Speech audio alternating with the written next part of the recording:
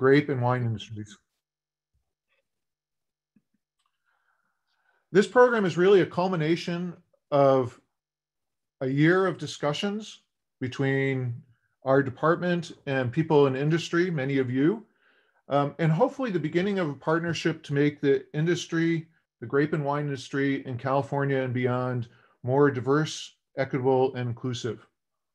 We have a great program planned for you today. We have three parts. After our introductory uh, comments and our keynote speaker, we'll be talking about diversifying uh, the university, uh, UC Davis, and our department um, as training the future leaders of the industry. Then we'll be talking about diversity and equity in the industry itself, followed by our last section on diversifying the consumer base for wine and other related beverages. I hope you'll find the information you hear this morning useful at your companies, your organizations, and in your own careers. Our hope is to leave you with as many actionable items as possible during the next three hours. So first I have a few general housekeeping items and thank yous. If you have questions, uh, if you have questions, uh, please ask them through the Q&A function that you'll find at the bottom of your screen in Zoom. We'll try to get as many to as many as possible.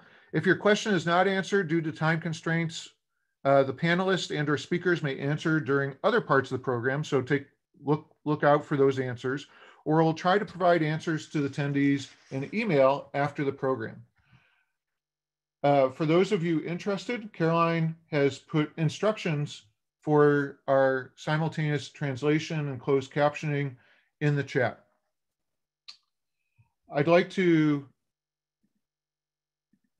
thank uh, our extension, extension and industry relation partnership uh, program partners for their support. You see them here on this slide. Without them, we're not able to offer programs like this and especially offer them uh, at, at no cost to you. I'd like to give a special shout out to our extension, uh, um, to our executive leadership board for sponsoring the translation services into Spanish. I'd like to thank our speakers for sharing their time and experience with us. Um, and I'd like to give a special thank you to Karen Block and Caroline Furman for organizing the program this morning, along with the rest of the organizing committee that worked with us, including Andy Waterhouse and Nita Oberholster. And a final thank you to Leticia Chacon Rodriguez for translation um, into of some of our slides and announcements into Spanish. So thank you to all of them. I'd like to thank all of you for taking the time to attend. Please remember to fill out our survey at the end of the program. That helps us with future programming. Um, and now we'll begin our program. It is my pleasure to introduce UC Davis Chancellor Gary May,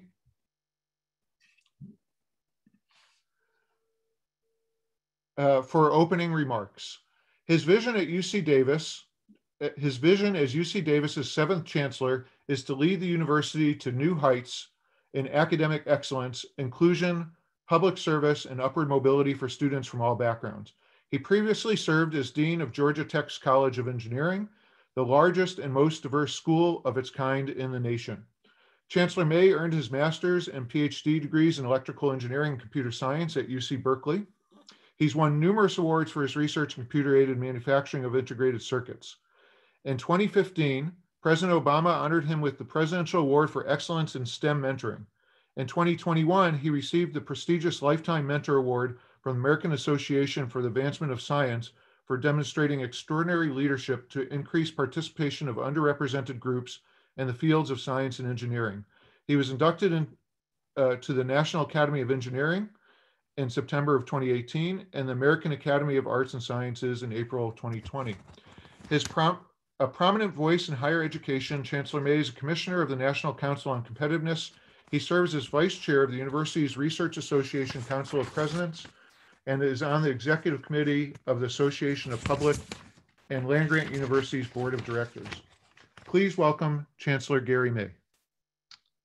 Well, thank you, David.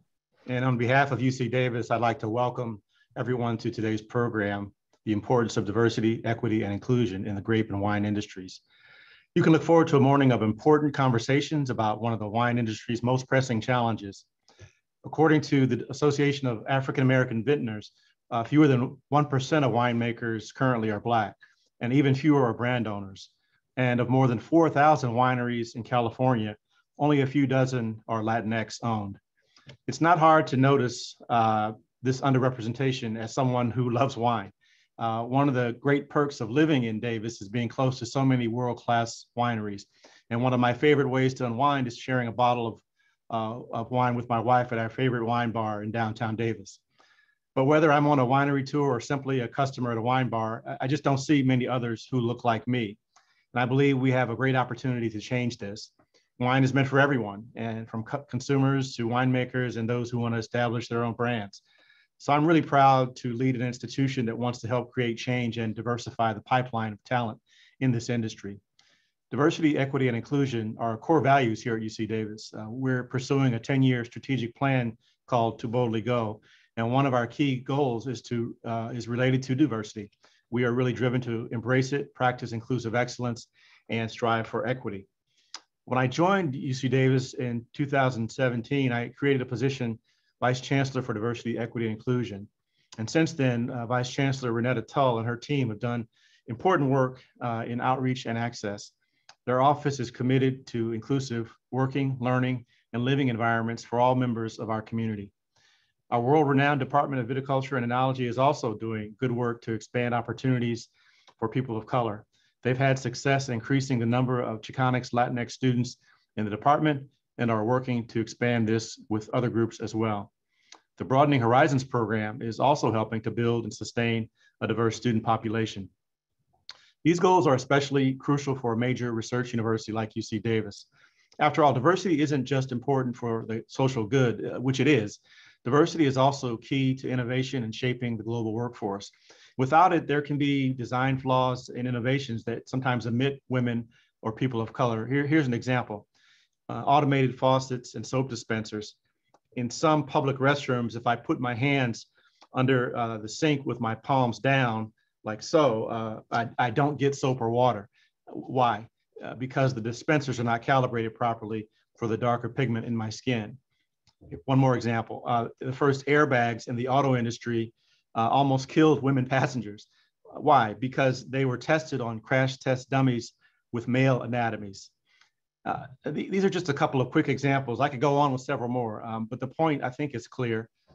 Diversity as a practical matter leads to better outcomes and better products. So whether we're talking about engineering or winemaking, diversity can drive innovation and build talent in the global economy. I look forward to a day when the field of winemaking is as diverse as the world around us. I look forward to getting wine recommendations from sommeliers that hail from a wide variety of backgrounds. And I look forward to meeting more winery owners who come from underrepresented backgrounds and learning about uh, more about their stories and well-crafted wines. Now, before I go, I have to leave you with one thought. Diversity is everybody's job. It requires commitment from the highest levels of an organization all the way down. And that commitment needs to be for the long haul with our leaders modeling inclusive uh, uh, uh behaviors along the way. So I appreciate everyone joining today and sharing their voice. Uh, there's work to be done in building diversity, equity, and inclusion in the wine industry. And today's program is important for creating much needed dialogue and strategies. I have no doubt that you will leave feeling inspired and empowered. Thank you for being here. Thank you, Chancellor May, for those remarks. We really appreciate your being here with us on this important day for us. I next like to introduce Dean Helene Dillard. Helene Dillard was appointed Dean of the College of Agricultural and Environmental Sciences at UC Davis in January 2014. She's the Chief Academic Administrative Officer of the college and oversees 14 departments, 29 centers and institutes, and more than 7,400 undergraduate students, 380 faculty, and 800 staff. And of course, our department is part of uh, part of that college. In addition to her responsibilities as dean, she has programmatic responsibilities for the college's agricultural experiment station and cooperative extension. Dean Dillard has national and international leadership experience, including invited consultations, presentations, and scientific exchanges in China, Central America, South America, the European Union, and Zimbabwe. Prior to her appointment at UC Davis, Dean Dillard was on the faculty at Cornell University for 30 years as a professor of plant pathology, carrying a 50% research and 50% extension appointment. So she's certainly very familiar with extension and it's very important to her as it is to us. Her research focused on biology, ecology, and management of fungal pathogens that cause diseases in vegetable crops. Her interests include sustainable disease management strategies, integrated pest management, epidemiology, and host pathogen environment interactions. Immediately prior to joining UC Davis, she was the director of Cornell Cooperative Extension and simultaneously served as an associate dean in two colleges, the College of Agriculture and Life Sciences and the College of Human Ecology. Dean Dillard has been recognized for her contributions in plant pathology by the American Phytopathological Society, receiving the Excellence in Extension Award and being named as APS Fellow in 2006. She received the New York Farmers Medal and Outstanding Faculty Award from uh, CALS in 2013. She was born and raised in San Francisco, California. She completed her bachelor's degree in biology and natural resources at UC Berkeley, and then went on to graduate work here at UC Davis, receiving her master's in soil science uh, and her PhD in plant pathology. Please welcome Dean Dillard for her opening remarks and for her to introduce our keynote speaker. Thank you, Thank Dean Dillard. Thank you, Dave. Um, and good morning, everyone. Um, Chancellor May mentioned the strategic goal for diversity, equity, and inclusion. And in the College of Agricultural and Environmental Sciences, we're taking that charge to heart. So we're looking at how we teach, the spaces we create and share, and the measures that we take to provide a true representation of our community within our academic and social environments. There are so many reasons why it makes sense for agriculture and the wine industry to consider diversity, equity, and inclusion at every level of the business. And I'm really happy that the Department of Viticulture and Enology has opened this discussion. The history of agriculture has not always set a table that was welcoming to diverse groups. So as we have an honest discussion today about how we can move forward, some distrust still lingers among various communities and it will take thoughtful and strategic actions by everyone to overcome this. So whether it's inspiring a diverse group of students to study ag, providing career education growth opportunities for farm workers in the fields, or partnering with various groups, um, we all have the ability to play an important role at some point along the pipeline to advance our capacity to create spaces where diverse thoughts, backgrounds, and experiences are not only respected, but celebrated. And so it's really my pleasure to introduce our keynote speaker, Julia Coney. Julia Coney is a Washington, D.C. and Houston, Texas-based wine writer, wine educator, speaker, and consultant. Her wine writing includes stories on wine, winemakers, and the intersection of race, wine, and language.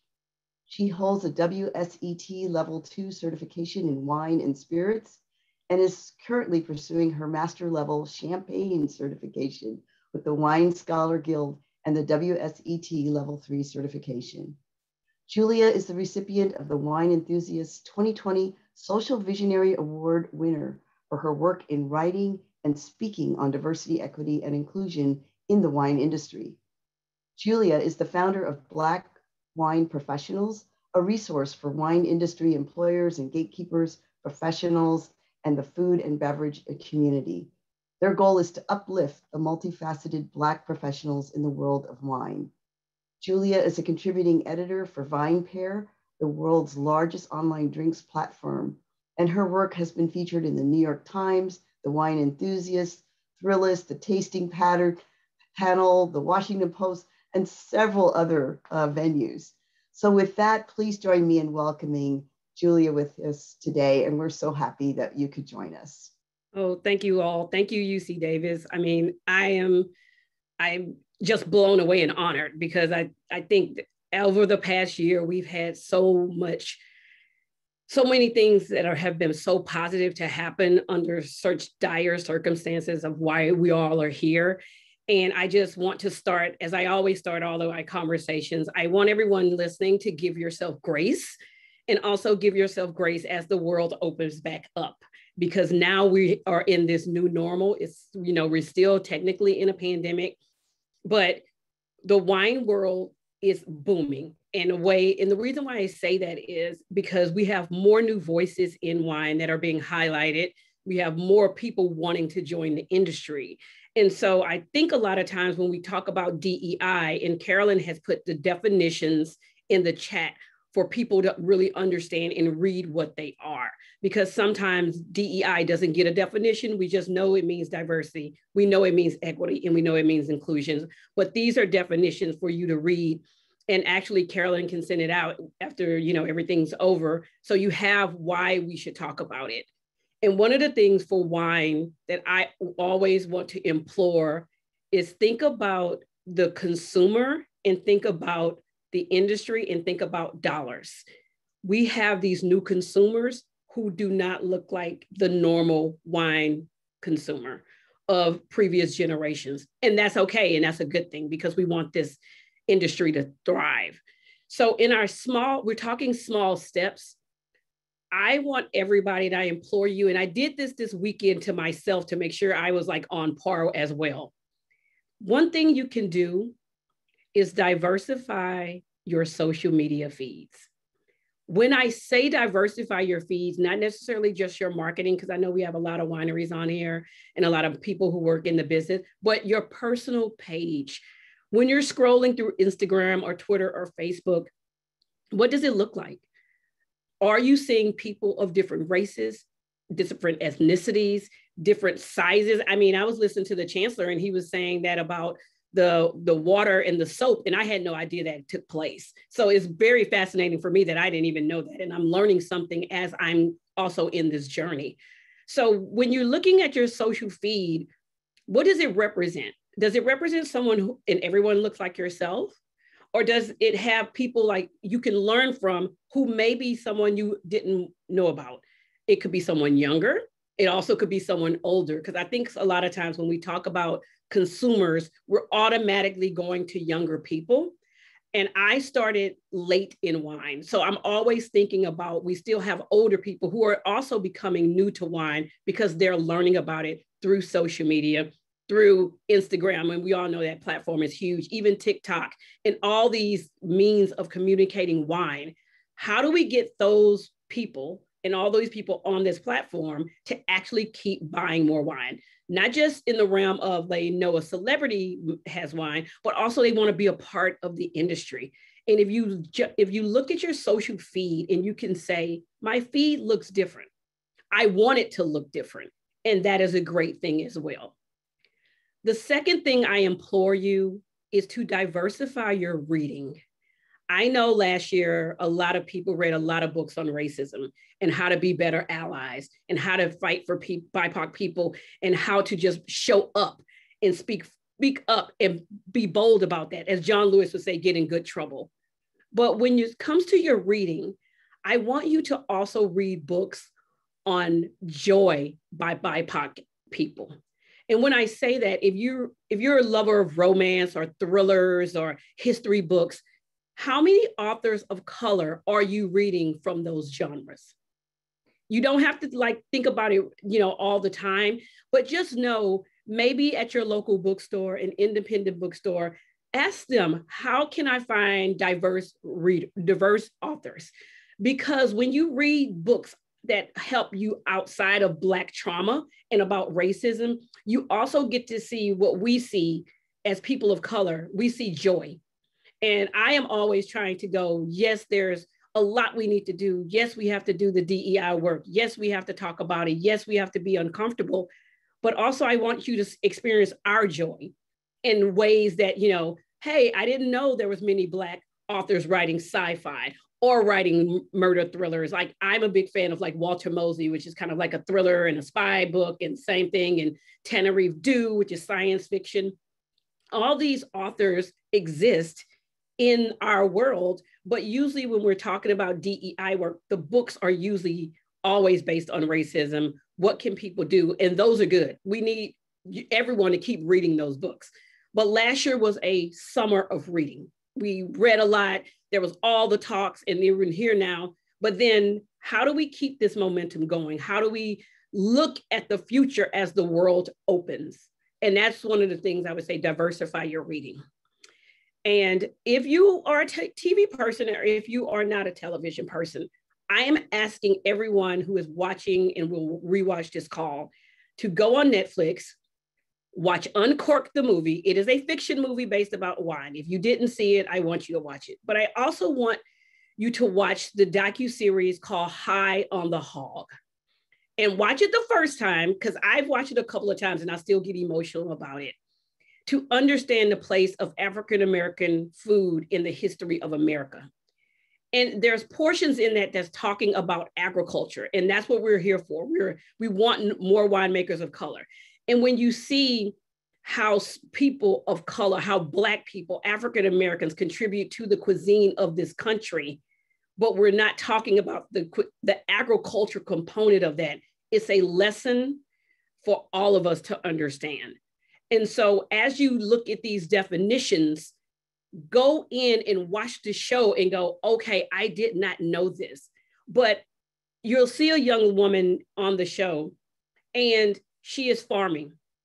And one of the things, there are so many historical Black colleges and universities that have agriculture programs. And my work is, is wanting to build and bridge those agricultural students to wine. But how do we do that, right? We have to be able to say, someone looks like you is actually talking about wine from an agricultural perspective. But also in that, we know people want to feel welcome. And that goes back to the inclusion part. So, in the inclusion part that we're speaking of, harvest is coming upon us. You're going to have probably now more people of color participating in your harvest. I want, if you have or we're at a winery, to really think how that person may feel, having empathy for them that they are the minority how do they feel welcome? How do even when you're joking that the jokes are not insensitive to that person? Because a lot of times when we when we think I, you know, I've I've heard stories, I've done harvests, and some one of my experiences was great and one of them was not so great. You know, when we think that sometimes the jokes are off color, they really are off color and they're offensive. So as we now move and you have people participating in your harvest around the world, around in, you know, in California, how can you be a true ally to make that person feel comfortable at the harvest and while they're working and also feeling like a team player? That is one of the beautiful things. People want to feel welcome. It goes back to I always say it's the idea of, and I'm dating myself if people know this, the idea of cheers, right? Remember when Norm walked in and it was like, hey, you know, where everybody knows your name. Everyone wants to feel that. And that has nothing to do with color. That has to be in a human being. We want to feel welcome. And if we don't feel welcome, then we retreat. And it becomes a way of being self protective of our peace. And so when people go to harvest in their in your tasting rooms, and that's one of the things I will talk about a little later in the tasting rooms. What is your tasting room culture? So as the pe- world opens up and everyone's traveling now, and you see people of color coming to your tasting rooms, how are the staff that are hosting them presenting themselves to the client, to the customer, if you want to call them? Because we're already going to be on edge because we're the only people of color maybe in your tasting room that day and we want to know we feel we don't feel slighted. We don't need to make an exception. We just want to be treated equally. And that is one of the questions and one of the feelings that a lot of people don't always have when you're a person of color walking into a space where you you're thinking how am i going to be treated today and so with that i am asking you to do a training with your tasting room staff. If you got to do it one on one, and we're talking about, again, these small steps. People are traveling to tasting rooms. Some people are having not so great experiences, and you might not know that, but and some people are. And the reason why I go from my perspective of having bad experiences in tasting rooms, and it's just educating your staff. Don't treat anybody, you know, how you wouldn't want to be treated. Because at the end of the day, we all have bias. Everyone has a bias How do we not make the bias a prejudice? And so, with the small steps, if your staff and you, as the manager and leader or the owner, are getting a new perspective, a new perspective on different cultures, then you take that down and it's a trickle down effect, right? A lot starts with the top of, of the organization.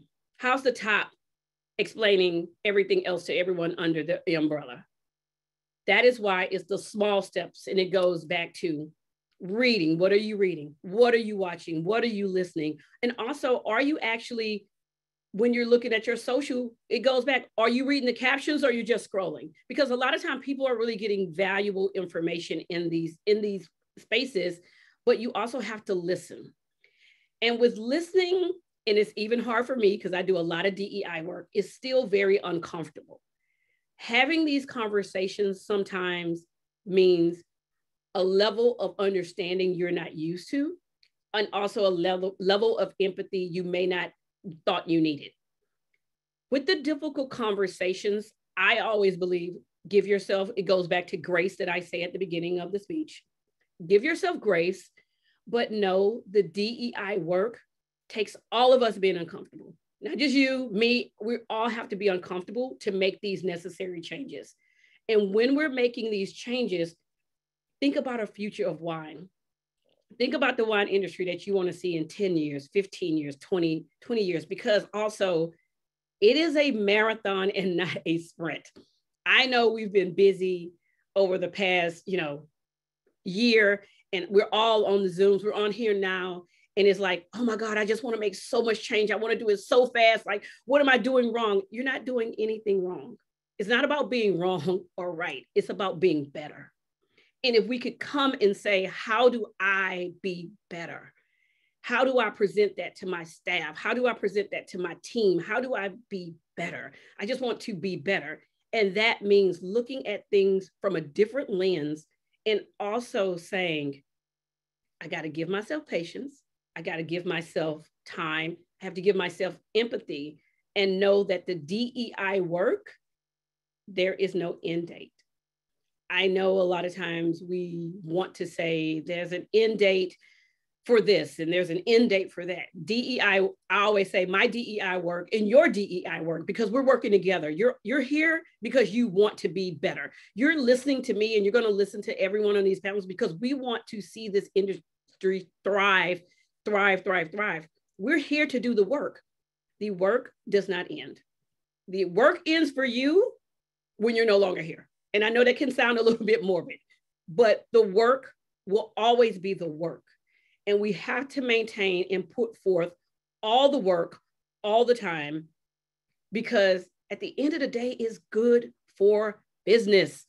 Wine is a business. We want people to buy wine. We want people to work in the wine industry. We, we want that stat from the African American Vintners Association. We want to raise that. We want more BIPOC winemakers, more BIPOC wine brands. We want all of that. We want to see, we don't want to see, oh, we're we're losing to this beverage, or we're losing people to that beverage, or what happens when the boomers are not buying wine? Let's create some new boomers that's what we want to do. And so as we do the DEI work and people feel more welcome, they feel more like I am included in this industry. I am a consumer and I go to a tasting. I am included. I feel great. So what does that person do? They go home, they tell their family, they tell their friends, hey, I'm coming to visit the Napa Valley. Hey, I'm coming to visit Paso. Hey, I want to go tour Davis. I'm thinking about joining the industry. Maybe I need to go get some credits. Okay, how do we get people in college to transfer and go to Davis? All those is all connected. So it's not one or the other.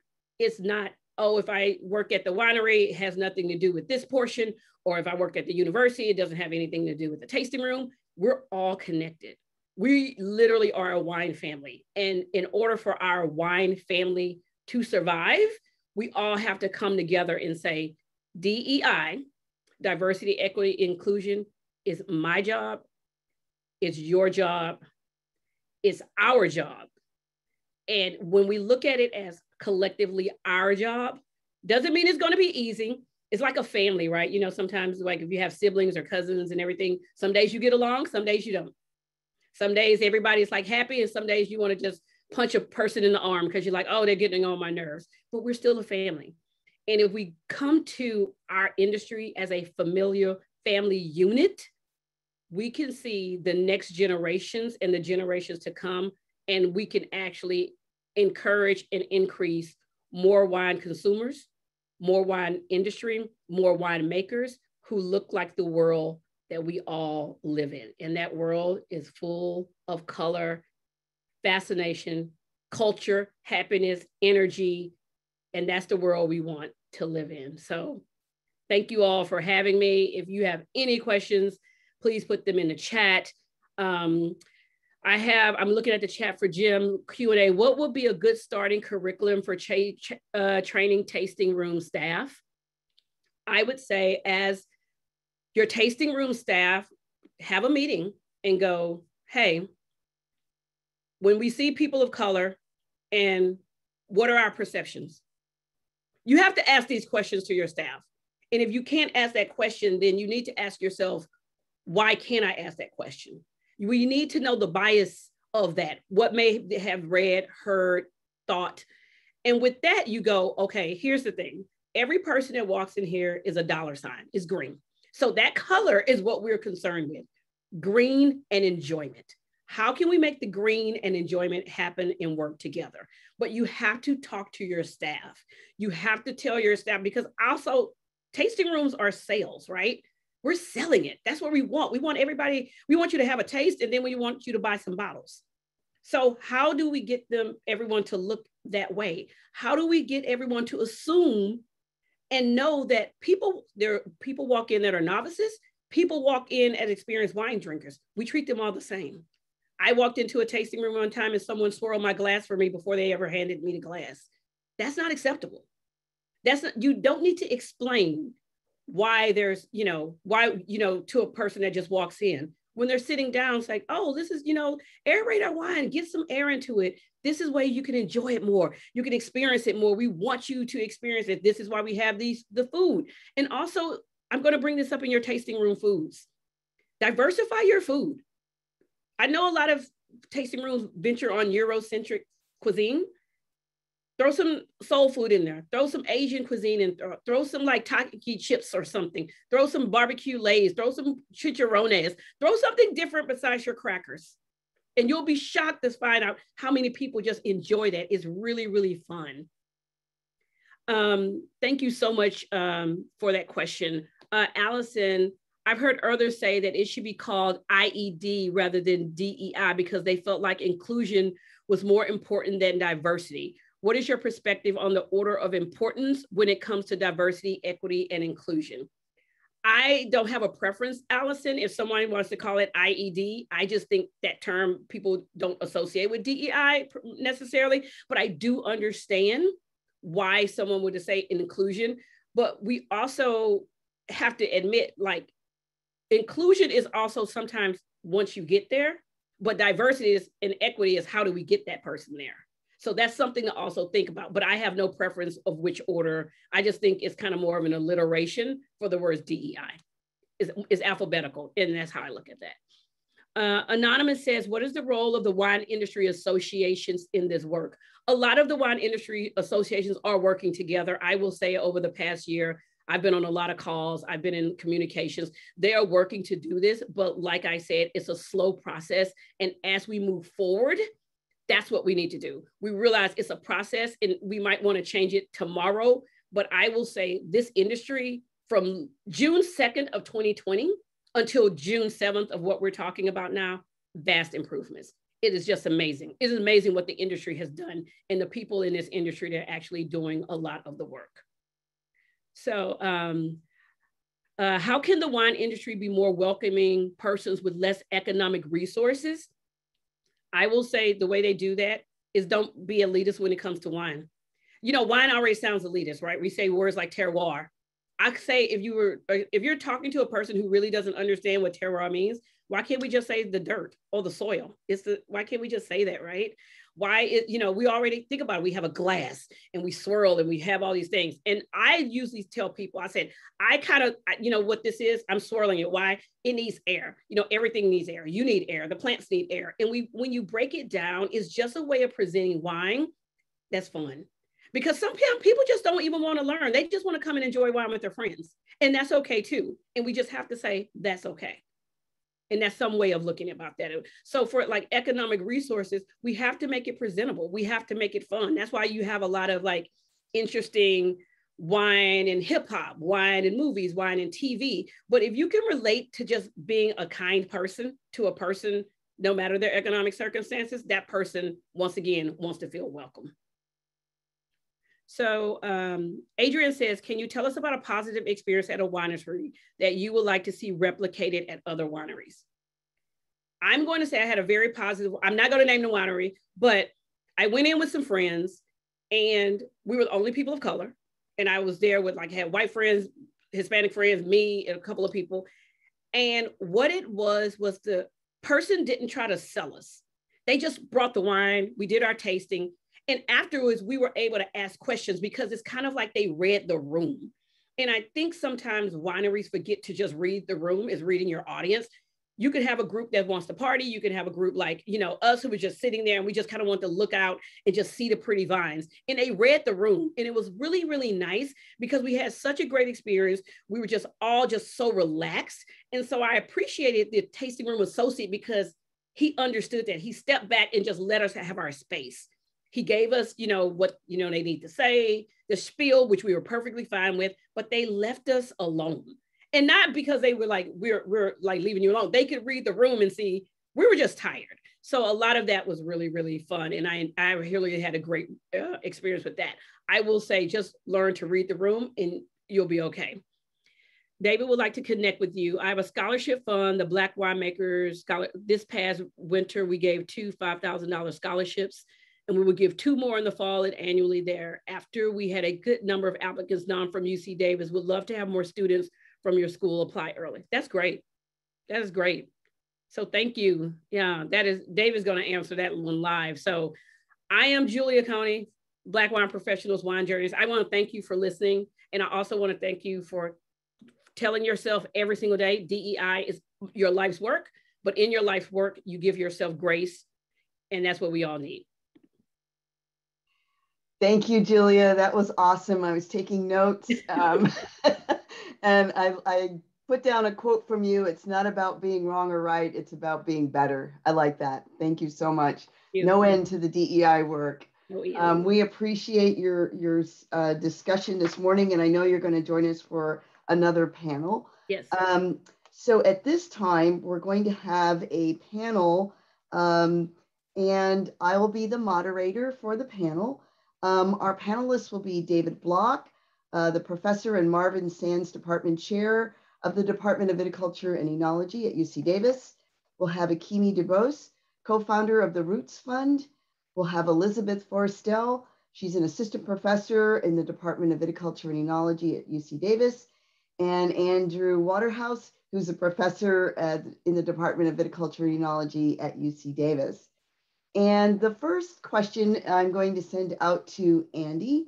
Um, and so, Andy, what has the department been doing historically to increase diversity uh, within the viticulture and enology department?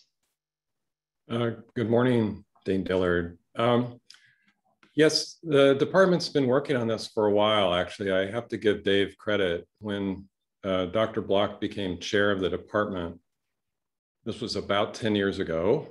Um, he uh, created the Broadening Horizons program. And uh, I think I and others in the department um, had seen when we traveled, toured around the wine industry, it was pretty obvious that there was a problem because you could see that all the workers in the vineyard and the cellar um, were basically speaking Spanish and they all came from south of the border. Uh, and the managers um, were not. And so we, we started with an effort to increase the uh, participation of Hispanic and Latinx students in the department. Um, So we initiated some wine tastings to raise money. We, uh, instead of bake sales, we do wine tastings here. And uh, after we ran several wine tastings, we had raised enough money to hire uh, a staff person to help with the diversity effort. And that was very important to have someone who's de dedicated to this, uh, to this program. And uh, I worked with them early on, and uh, it took us a while to develop the right materials. Um, luckily, on campus, we have lots of folks who are familiar with this landscape. And uh, we learned that our initial outreach materials were not suitable. Uh, they all focused on academic excellence. And really, when we talk about diversifying the student body, um, we really need to address for these prospective students the student experience. Um, I think everyone knows that if they come to Davis, that it's going to be an excellent academic experience. What they need to, what they're concerned about is, are they going to be welcomed? Uh, are there going to be support groups? Are there going to be networks of support? And so we had to tailor the materials to focus on the fact that we do have that here. We have a very strong student club, Devo, and they are everyone is welcome there. Um, and there are obviously you're well aware that there are other support groups on campus for students from different backgrounds. And so we needed to you know, make sure that our prospective students were aware of these, of, of these opportunities. And then to reach our target, we reached out to schools uh, in the North Coast, uh, Napa Valley, uh, Calistoga and St. Helena, both have uh, strong programs and a large number of Hispanic students. We invited those students to come to campus and we visited those campuses. And as a result of these efforts, and I think we did more than what I've described, is the, the proportion of Hispanic students in our program went up quite a bit. It was about 10% when we started and, and it got up to about 25%. Uh, and I think it's, it's remaining about that level um, and, you know, I think a large part of it is one of the reasons these students are coming is that we've been doing this for a while now. And I think it's, it's, it's clear to folks in the Hispanic community that we do actually care, right? I mean, we do want them here and we have a support system for them and there are other Hispanic students here.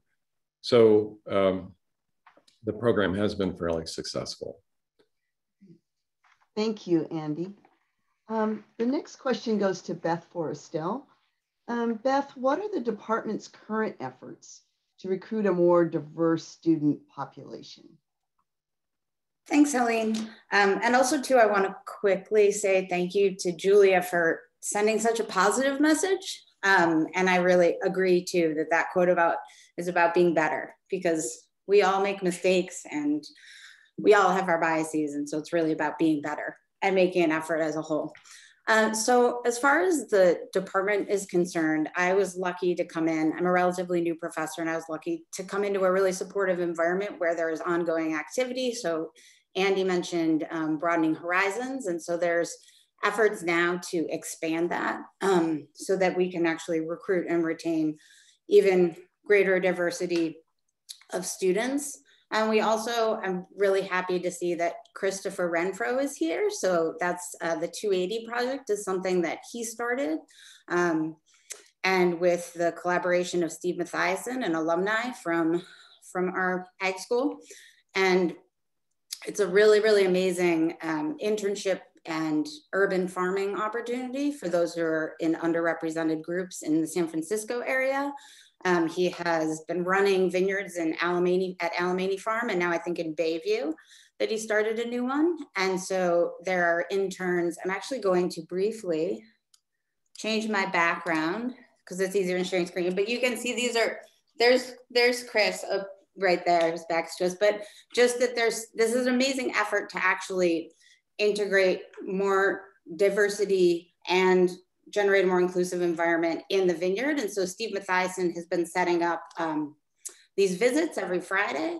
And also they go back and help, and he goes back and brings experts to Alemany Farm. And Chris is pretty much an expert himself as well. And they'll be coming as part of some of our summer programs that we're raising money for, for um, retention and recruitment. Um, they'll be coming in the summer to visit UC Davis and see opportunities here and see research and interact with faculty in the winery. Mm -hmm. And so that's been a really amazing thing to work on. Additionally, we have the plant agricultural biology grad admissions pathway, which is with plant sciences. And now um, our department is involved and we are, um, we've renewed the application for it. And it's a program with several HBCUs, um, which hopefully will expand. I know Julie had mentioned in the past that there are a lot of them in the country that have agricultural programs or chemistry or other programs. And so a bunch of our faculty, both in viticulture and enology, are involved in that. And we have a student this summer, um, Abigail Simon, who is working with me and a few others on pest and physiology interactions. And unfortunately, she can't be here in person, but uh, that'll be the first one coming to viticulture and enology. Dario Cantu has had some in the past. Mm -hmm. um, and then as well, one thing that I think is really important to mention is that the student organization, DEVO, and students' involvement has really increased as well. This is the first time they decided to elect a DEI officer and become a lot more engaged in the efforts. Um, they're a really, really welcoming and great group of students. And so I think they'll play a really critical role in mentoring um, and making it more of an inclusive environment. And then we've done a lot of work, and this is actually the leadership of Helene being on the DEI committee for the college um, with other faculty in plant sciences is create resources for equity and inclusion in the classroom. And this relates a lot to, to Julia's comments about having greater representation of, of who you show when you're talking about scientists, when you're talking about viticulturalists or others that are important in agriculture, um, talking about people that are really important like George Washington Carver and others who are rarely mentioned, but but probably should be or definitely should be.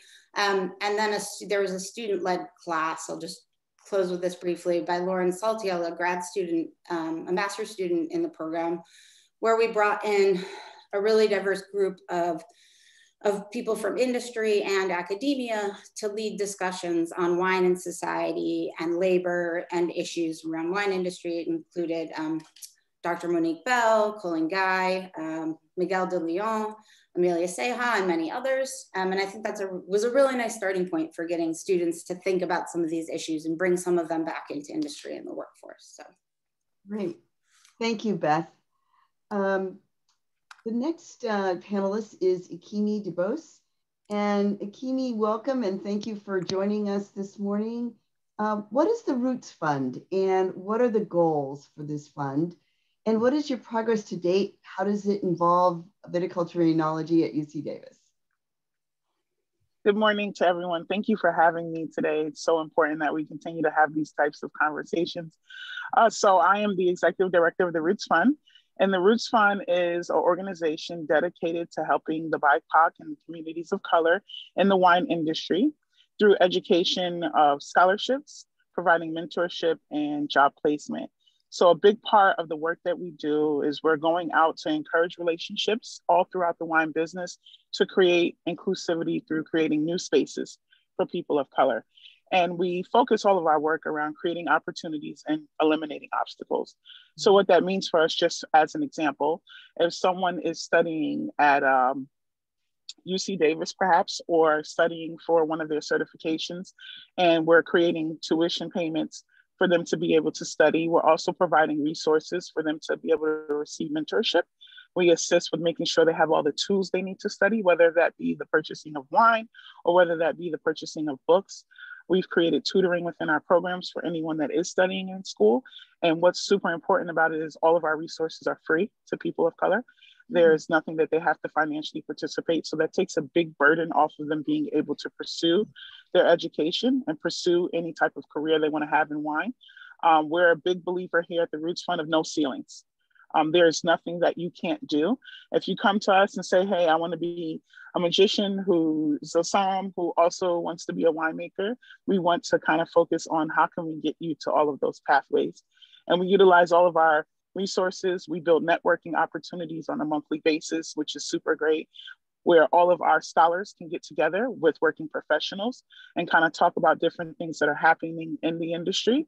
Um, and a big part of the work that we do is we create accountability.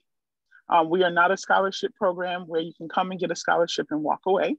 I tell everyone you are joining a lifelong cult when you join the Roots Fund. Um, we are, are doing the work here. And what that means is uh, folks who get scholarships and they're open to all ages of people of color, any aspect of the industry. When they come to us, it's mandatory that you participate in mentorship. Um, we want to know what's going on in your career. We also hold spaces for people to talk about what's going on in their personal lives. A lot of people have been heavily affected in the pandemic for work. Um, we provide resources for things like that. And at the same time, we hold accountability for anyone that interacts with us, including UC Davis. I know David could probably attest to that. And what that means is um, we ask employers who want to advertise jobs with us, what are they doing for DEI space? What does their staffing currently look like? You know, what are your plans for new hires? What does that process look like? When they interview someone, you can't just interview a person of color and say, hey, I interviewed them and they never get hired. If you advertise three jobs with us and you never fill them with us, that makes me question what are you really trying to do? Are you trying to check a box? Or are you really trying to hire someone of color? Um, anyone who's engaged with me in the industry knows that I'm definitely relentless in our goals here. Um, we create short-term goals for a long-term vision here at the Roots Fund. We're big on doing. Um, I'm an avid believer if there's a meeting, then something actionable needs to come out of it because I have I have a responsibility to the scholars, you know, in this industry. I have a responsibility to hold the vendors accountable as well. So that's really the work that we're doing.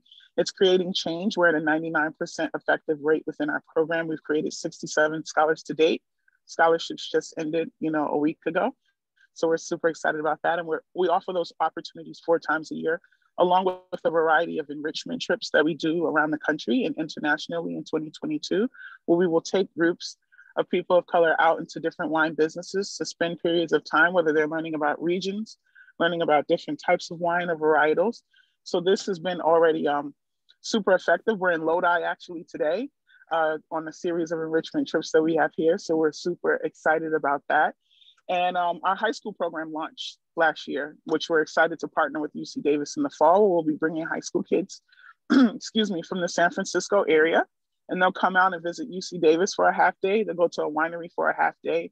And then we end the tours with a tasting for the parents. So I think that we need to keep in mind we're introducing these high school students into the wine industry, but a lot of the parents have never had any type of knowledge about wine. You know, the average liquor store in a large big city community um, sells yellowtail, and nothing wrong with yellowtail.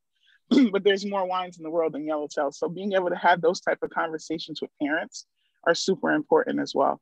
And um, what I really implore and really love about our relationship with UC Davis is when David and I first spoke and Elizabeth, we talked about how do we, it's not only looking at their recruitment and increasing it for diverse people, but what type of work is the campus doing? You know, what type of mental health resources are they providing?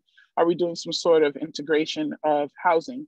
You know, because if you take someone of color from their city community, bring them out to a rural school, with a lot of people that doesn't look like them, how are we supporting and encouraging their environment?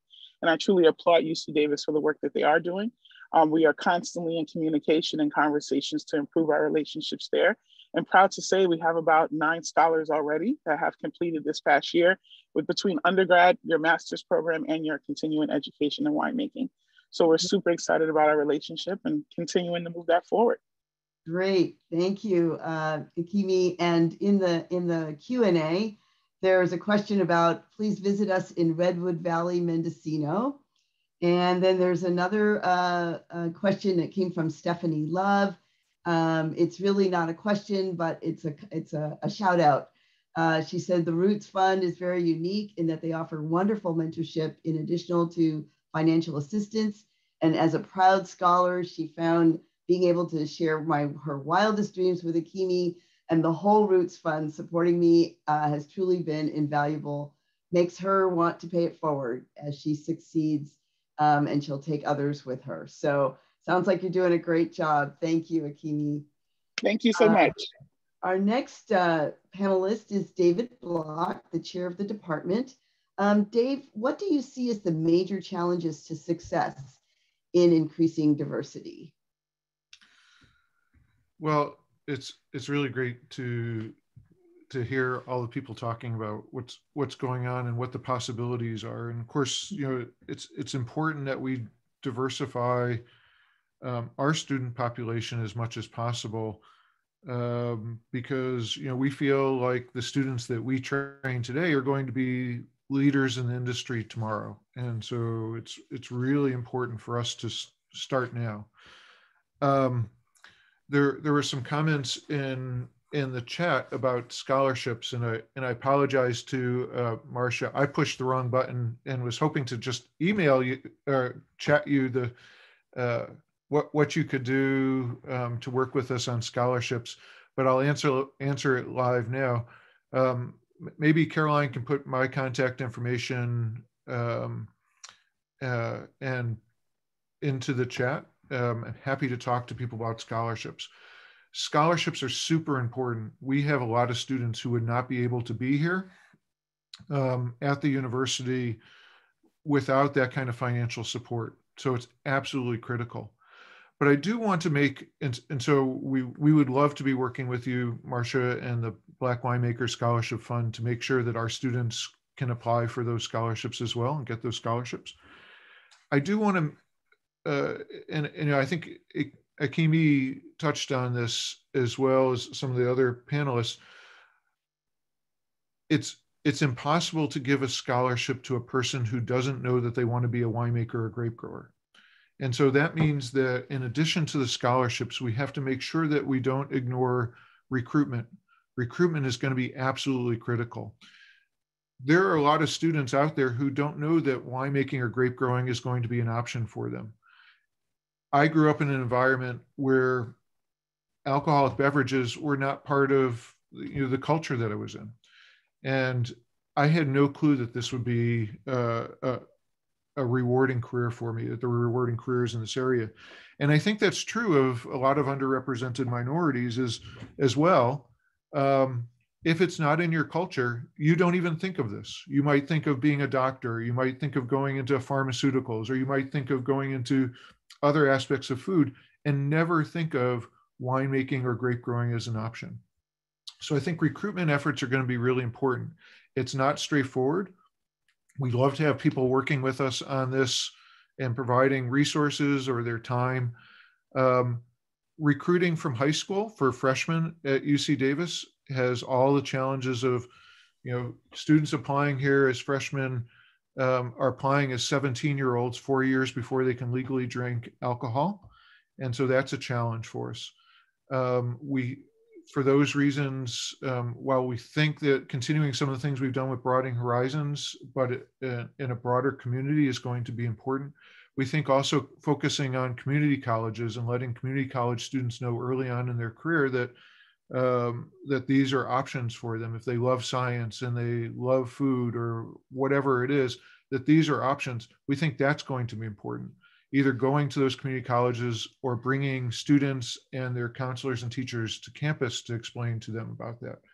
Um, and we also think going to hbcus and, and hispanic serving institutions to draw in students into our master's program are going to be important as well so these are all things, there are lots of other things that we can do, but we, we certainly need partnership from all of you to do that. Once the students are here, making sure they're successful is really important. And, and that takes various forms. We want to make sure they have not only the resources that are already available generally on campus, but resources specific to our major, um, peer mentoring, peer tutoring, career counseling from our faculty and staff and, and co-students. Those are all things that are important. We've discussed these things also with, um, with the Roots Fund and others who are focused on these things as well. All that's really important. Making sure students get um, feel welcome in our program and feel as part of part of the family. We used we like to think of our our department as kind of a family. So there, there were comments in in the Q and A about you know what what is our diversity and how might we um, you know what kind of coursework and things we can include, and so you know I think um, you know as Andy mentioned we've been up to about 25 percent uh, Latina Latina students, which is great. It's way above where we are were 10 years ago. we could still do better there. Um, we would like to have even greater diversity. I think overall, um, as of maybe a year or two ago, we were at 33% underrepresented minorities in our program, um, which is great. But again, we can we can do better. We can make the our population look more like um, the general population of California and beyond. Um, we we also have students uh, uh, coming from from Asia, and they add a lot of diversity to our programs as well. And so we've been thinking a lot about how do we get students um, feeling like this is one cohesive group as early as possible. And so um, I've been working with uh, Beth and uh, Mason Earls. They're going to be offering a course next year, starting very early on, uh, second quarter freshman year for our freshman students and for first year transfer students to get them all together very early on in their time at Davis to make sure they're talking to each other. And they've, uh, Beth and Mason have, are planning out a really wonderful course that I think will go a long way towards getting the cohesiveness uh, in, into our program as early as possible. So um, I, I think at least these are some of the things I think are really critical. The recruitment and how do we retain those students make them successful in their careers. I think those are some of the biggest things that we have to deal with right now. Great, thank you, Dave. Um, for any of the panelists, um, Marilyn Nagel had a question about um, the diversity of students in the program, and Dave answered that. Does anyone know where we can find the diversity, uh, race, ethnicity, gender of people working in the wine industry by county in California? Do you guys know if there is a, a database like that anywhere?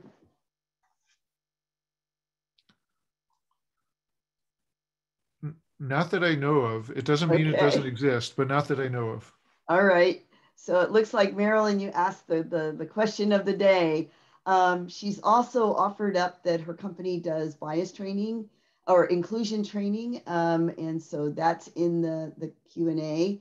Um, so the question from Alexandra is, do any of the panelists have a recommendation for bias training for wine employees, managers, and leaders? I know we have a lot on campus, but it's very campus specific. Um, and I know that uh, Stephen Covey has some bias training. Um, does anybody know of others? Okay. It's like Kimmy. I actually have some great uh, bias training resources I can be sure to share with David that he can share with the community. Okay, that would be great. That'd be great. Thank you, Akimi.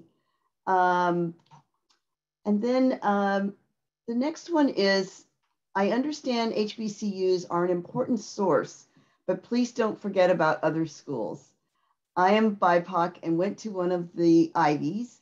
I tried getting into the industry in New York City and the dollars weren't enough.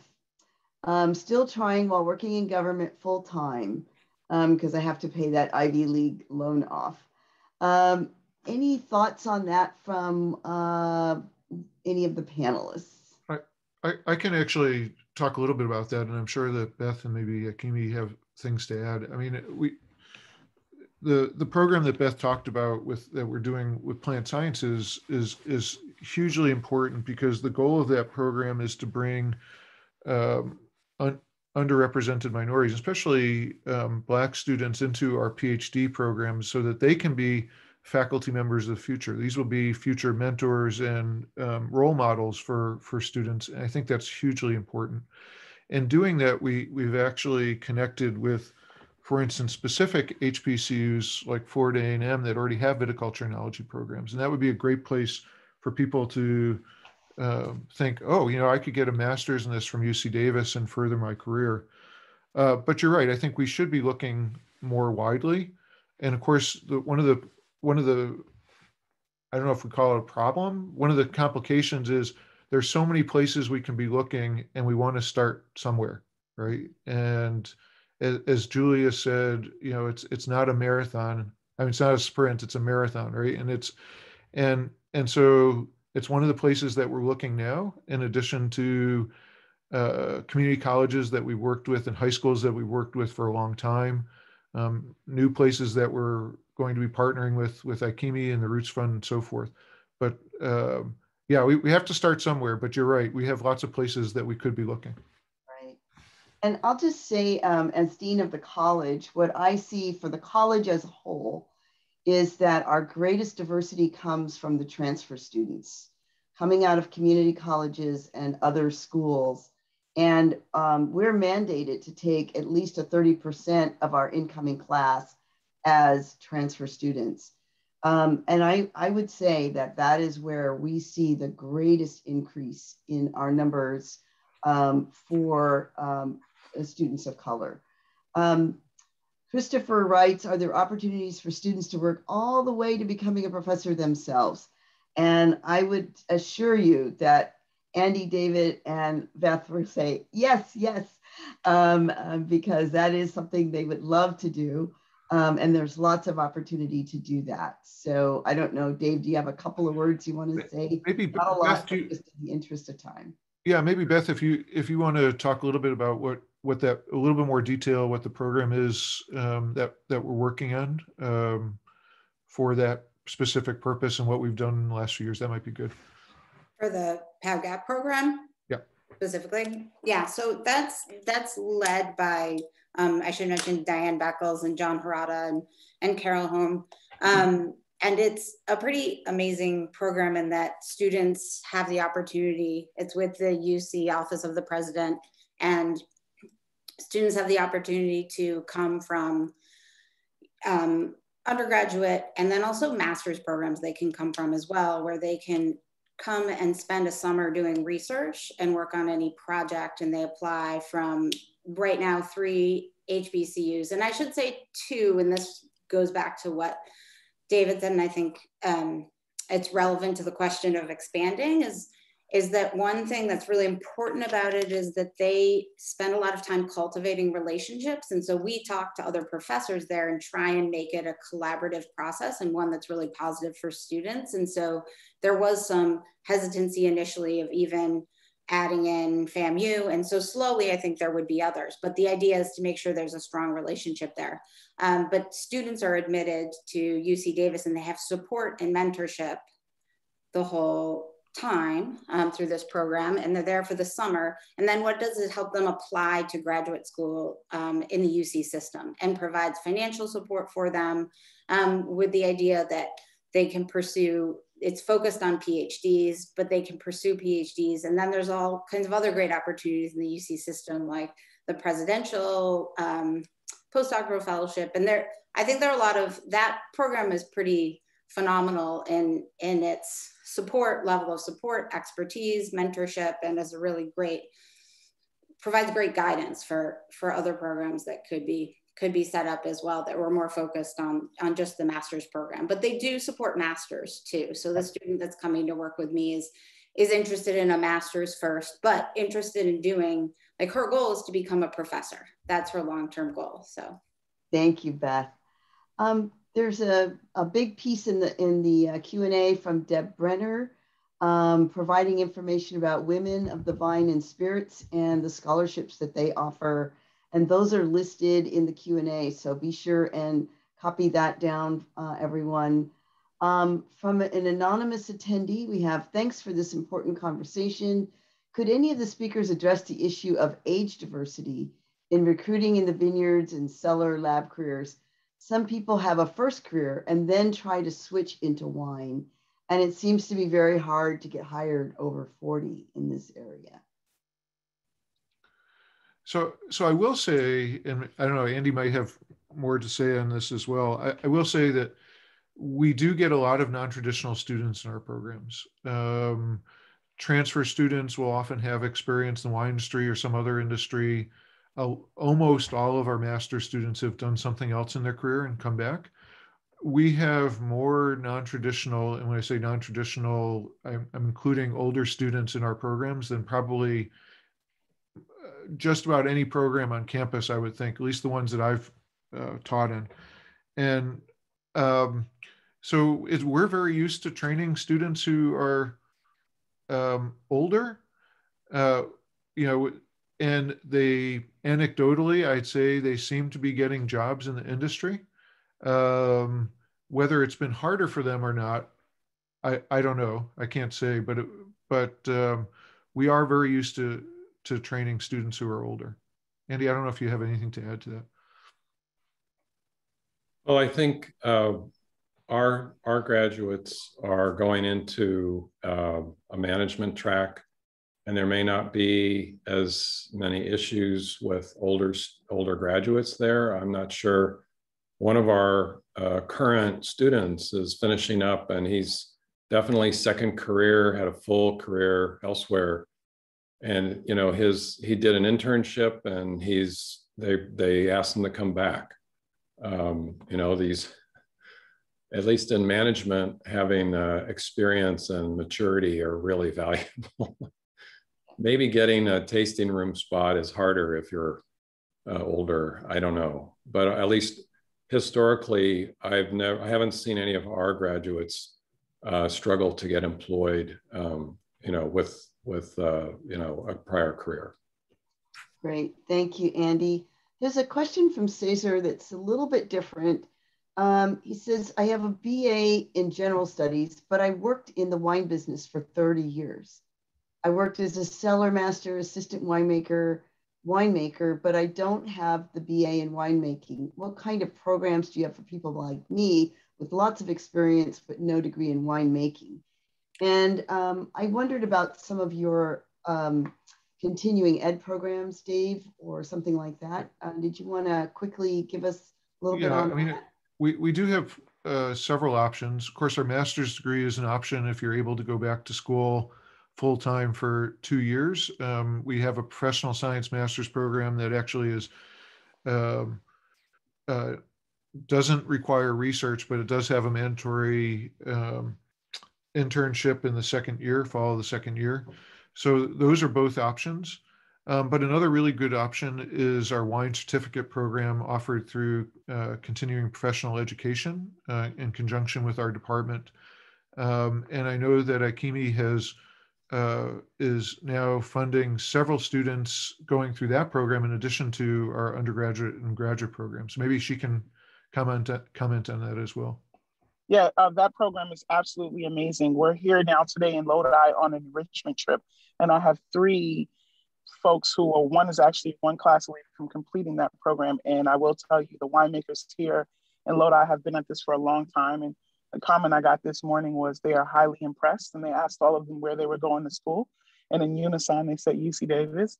And um, it definitely is an impressive program. I got some great feedback from them, and um, I think that for someone that has already pursued education and may not have the aptitude to or the time commitment to be back in their master's, this is a great opportunity for you. It's a great program.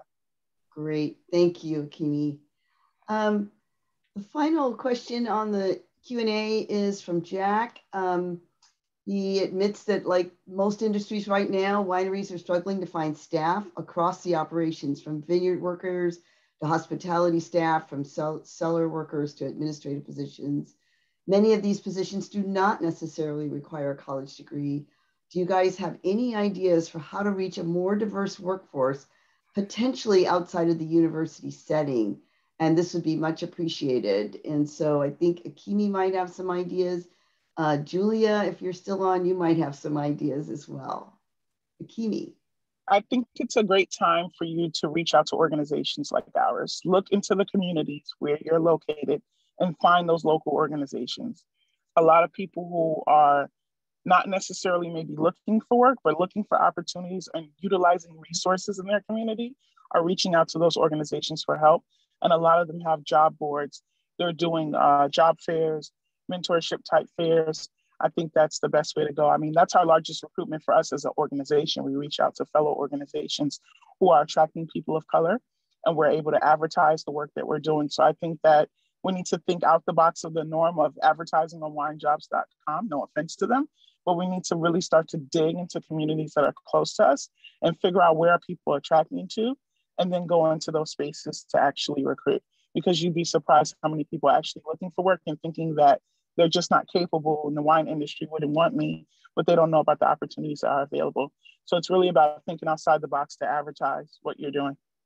I agree with Kimi. I agree with Akimi. We, we, we post them on Black Wine Professionals whenever somebody sends somebody a job. And I mean, uh, you know, one of the ways is social. I, I, you know, social is a big mover as well. We send it in a newsletter, but also social because people are really moving on that.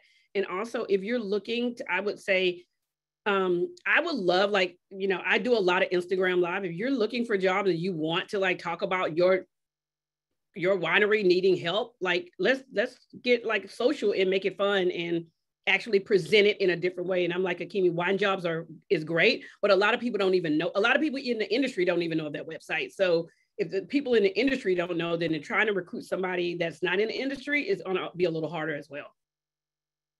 Okay, and so we're up. Thank you so much, Julia and Akimi. We're we're now at the time where we need to, take a little bit of a break. But I am going to ask if um, our panelists can answer the last two questions in the Q&A by typing in the answers. One is about how do you convert wine students into wine owners? And Dave, I know you have um, some work you're doing with the Graduate School of Management um, about this business component. So, and then I think Julia uh, and Akimi can help answer that as well. And then um, big question, what exchange programs does UCD have with other countries? And I'm assuming that they're asking about around wine making and wineries. So I'm thinking uh, Chile, Argentina, et cetera. So maybe Dave, you can put in uh, a little bit about that. And so we're going to take a break and we're going to come back at 1025. You don't need to completely sign out. I'll just, just, just uh, take your video off and your mute your sound and stay with us and we'll see you um, at 1025. So it's only just enough time to run and get a cup of coffee or use uh, the restroom. So thank you so much, everyone, for joining us on this first panel discussion, and we'll see you at 1025.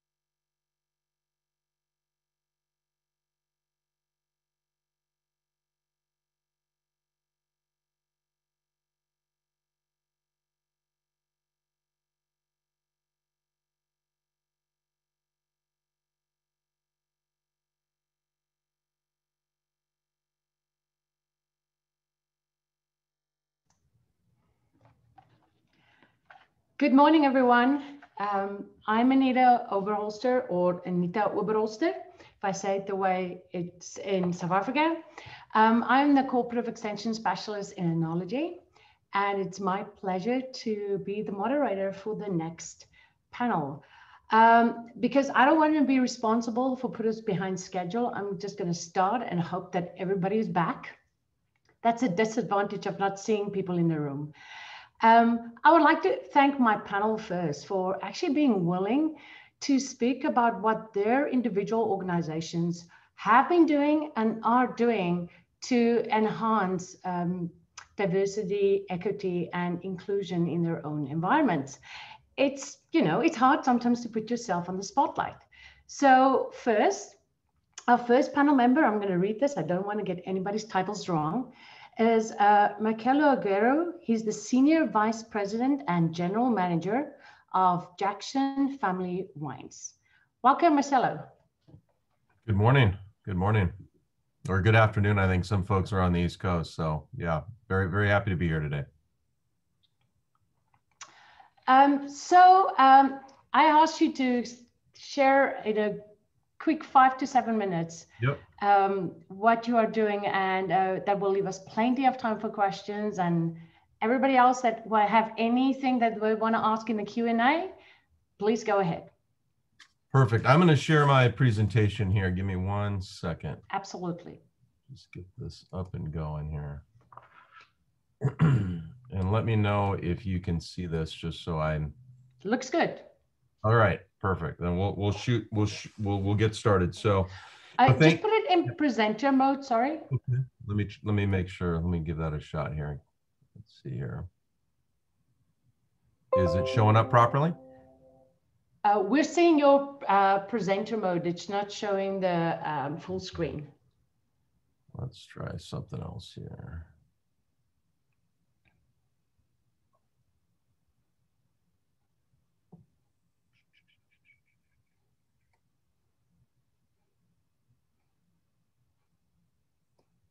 Try this one more time.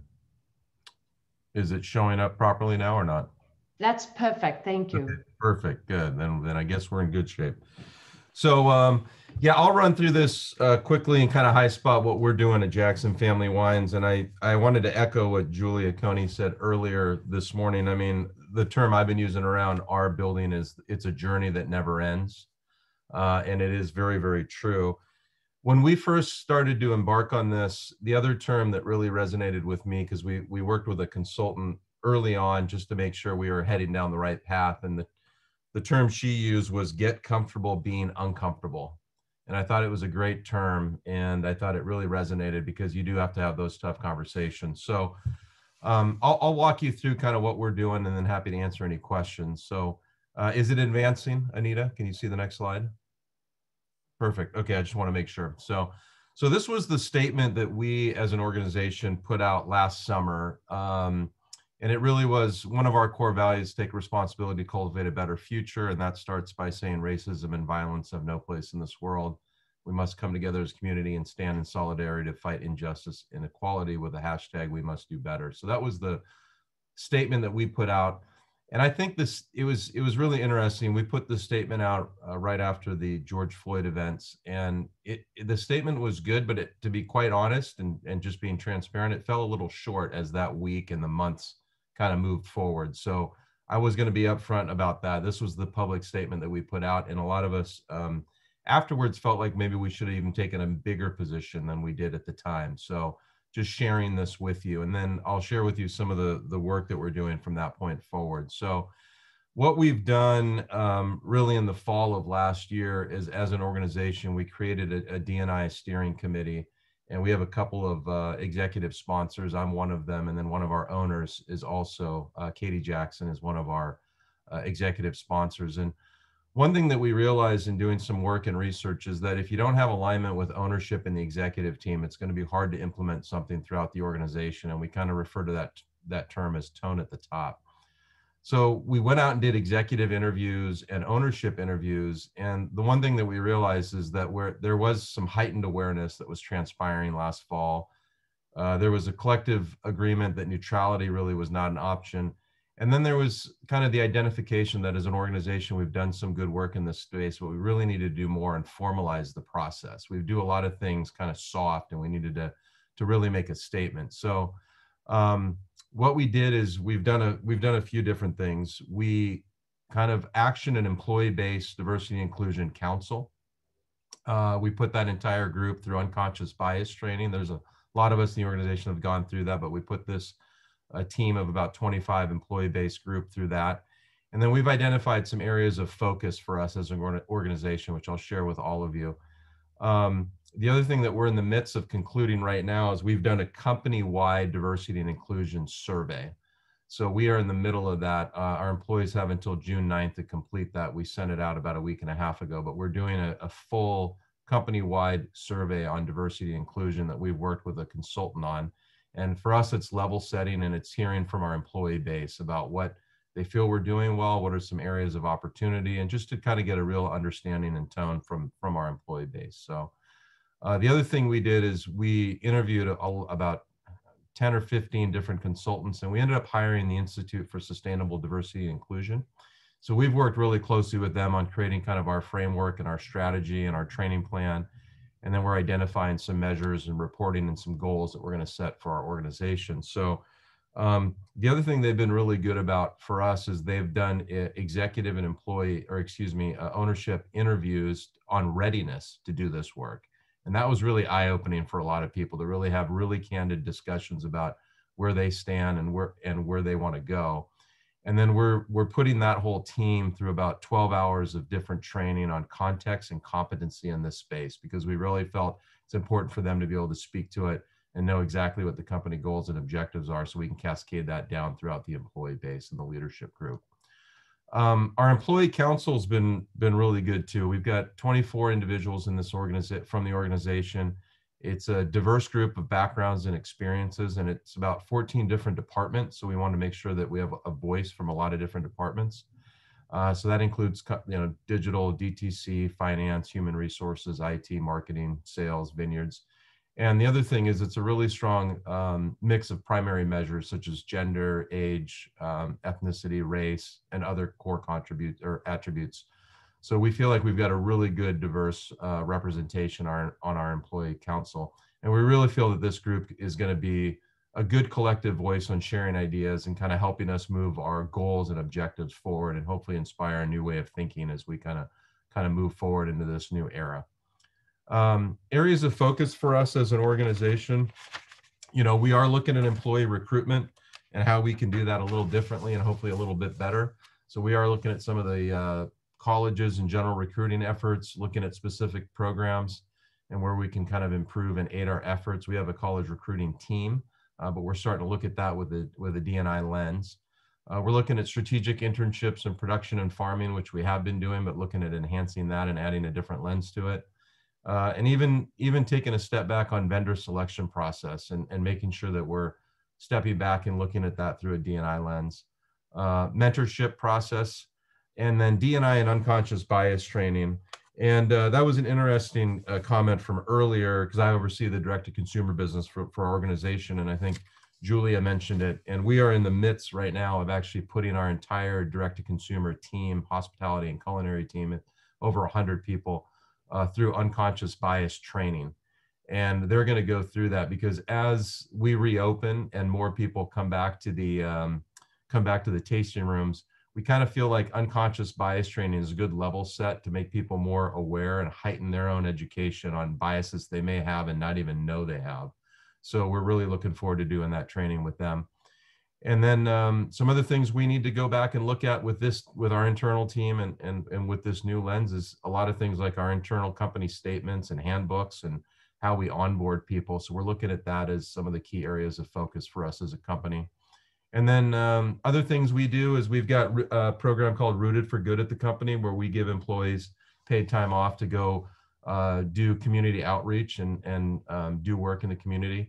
So we're looking at volunteerism and looking at, you know, what are some other community projects that we can work on? We've historically done and worked at food banks or worked at uh, animal shelters, those type of things, um, to give you an example. Or we've done some environmental stuff like help you know, rebuild streams and those type of things. But we want to start seeing what more can we do from a diversity and inclusion standpoint with this rooted for good platform that we've had for several years. And then other things are just scholarship opportunities, looking at our organization and where can we help support scholarships um, in the BIPOC space. Currently, we're one of the founders of the BIPOC Scholarship at, at Cal Poly, and we also have, uh, for the last couple years, supported 10,000 degrees as well. But we are looking at this much closer, and these are a couple that we do now, but what else can we do? And then, uh, you know, the big things for us as, as a company is secure allyship across the organization on this initiative that we're working on. Uh, look at some soft goals based on action items and benchmarks. Um, we've put a couple of people in the organization through the uh, Cornell um, Extended Education Certification Program for DNI. So we've got some folks doing that as well. And then uh, working with this consultant that's been really, really good for us is looking at what are those goals and what are those measures? Because what, what does success look like? That's what we're trying to define right now as well as an organization. So um, those are some of the areas of focus that we have right now. Um, and like I said, we're in the midst of doing our employee survey, which I think is going to be very eye opening for all of us. And it's a chance for our employees to kind of share their voice and their opinions. Uh, the other thing that we've shared out with the with the teams here is just some groups and organizations so that people can get more comfortable with um, what's out there. So this is kind of a list of some websites that we've recommended. So Ikimi, I, you know, the Roots Fund is part of the one of the groups that we've got identified on there to just help with people's education. And then the other thing that we shared out with our teams was just reference materials. Just what are some other web-based resources to get more comfortable with you know bias in the workplace looking at white fragility looking at microaggressions um, you know all those type of things. So and then we recommended some books too for people. So that's just a, a few slides to share with kind of what we're working on here as an organization and uh, more than happy to answer any questions at, at this point anita. Thank you, Marcelo. Um, we're going to finish all the, go through all the panel members, and then we'll see how much time is left over uh, to make sure that everybody gets equal chance to answer all the questions. That sounds great. I mean, I think um, you're showing that Jackson Family Wines is really trying to have a whole company buy-in into this very important issue and a lot of um, education and helping people be good citizens. I think that's really important. Yeah, yeah, I, I couldn't I couldn't agree more. That's exactly what our goal is, and it's it's going to be a process, and uh, we're doing a lot of good work, but we've got a lot of work to do ahead of us. So yeah, our lifetime and the next lifetime. Exactly. Definitely. I think we're all going to uh, quote um, Julia from now on. It's not a sprint, it's a marathon. It's really true. Thank you very much. So we're going to move on to our next um, speaker or panel member as Michelle Novi. Uh, Michelle Novi is here to represent the Napa Valley Vintners. She's the Industry Relations and Regulatory Affairs Director for Napa Valley Vintners. Thank you very much for being with us, Michelle. Thank you so much, Anita, and thank you to the entire UC Davis team that put this together and all of the panelists and all of the people that are tuning in. Um, this is a, it's an honor to be a part of such an important conversation.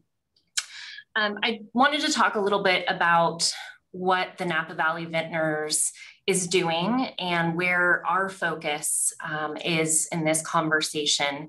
And um, much like Jackson Family Wines, um, we have a lot going on internally, but I would say that um, our areas of focus have really been education, mentorship, and hopefully leading by example.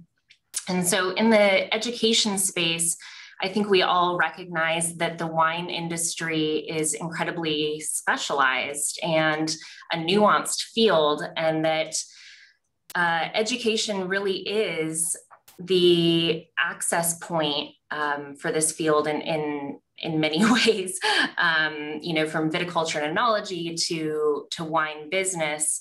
Um, having that background or at least some some educational training uh, is a great entry point and we're so lucky to have incredible institutions um, from community colleges. Um, I loved the discussion that was happening around community colleges because I'm a transfer student myself from Santa Rosa JC to UC Davis. Um, but from community colleges all the way up to graduate programs, uh, you know, we're recognizing that value. And as an organization, we have very deep roots in supporting education, particularly in our community through auction Napa Valley funding that we were able to raise for nearly 40 years. And so now we're really kind of turning our attention to how do we support education from the industry perspective um, and, and broadening the community there.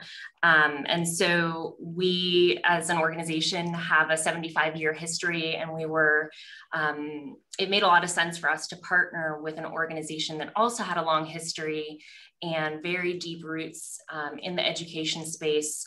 Uh, so last year, we were able to announce a partnership with the United Negro College Fund to provide uh, scholarships for wine education um, of $1 million over five years. And so really excited to be, be able to, to do that. Um, but also, you know, uh, looking to at the mentorship aspect, uh, that's been very important to us. And I think several of the panelists talked about, um, I think it was Ikimi who talked about, um, it's not just scholarships, it's that mentorship and wanting to, to kind of, you know, hold the hand while you go through the process. Um, and so we have um, also dedicated significant financial support uh, to several nonprofits who have deep knowledge, um, strong leadership, and um, robust mentorship framework. So that's programs like Wine Unify, uh, Batonnage Forum, and the Roots Fund, um, where we can, um, separate from the, the education piece, but the, the kind of professional side, support that mentorship, which we also know is so critical in our industry. Um, and then the last piece I, I'll just touch on is the, the leading by example. And uh, I think Marcelo uh, talked about, you know, providing resources. Um, on June 16th of last year, uh, we held a listen and learn session for our membership um, with um, our community coming together and listening to Black voices and share their experience of uh, being a part of our wine community and uh, how we do, in fact, just need to do better. Um, and so from there, we have internally been, you know, revising our, you know, employee manual, our policies, but also our, you know, mission and values to make sure that we are reflecting um, internally and externally a message um, that is you know what we what we care about um, and that is diversity equity and inclusivity. And so making that um, very public to our team here but also um, outward facing. Uh, the other piece that i want to touch on and just the leading by example is we took a really hard look at our uh, marketing and promotions materials. You know as the voice for the napa valley um, we were looking at how we were portraying the Napa Valley, and it was being portrayed very, uh, you know, it was a, a very narrow group.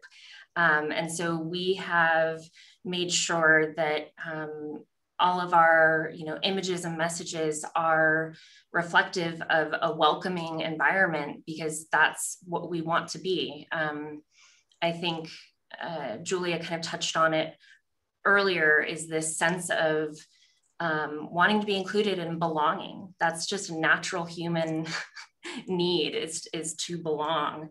Um, and so we want to make sure that every aspect of our marketing promotions, but also our internal committees, uh, reflect the diversity that we are championing. So we kicked off a new uh, NAPA leadership program this year to really inspire our next generation of leaders for the Valley. And it was 80% women and um, incredibly diverse. And it was just really wonderful to see, um, you know, all of these people kind of stepping up, raising their hands and saying, I want to be, you know, a future leader.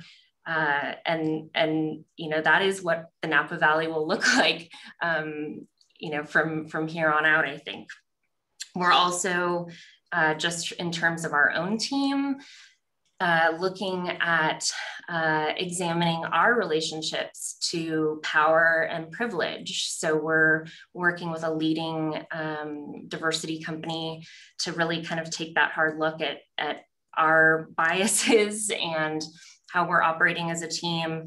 Um, and we're going to be extending the, those types of resources to our, to our members um, here on out. I think I'll just end with kind of the takeaways for us, at least so far, is that everything needs to be in alignment.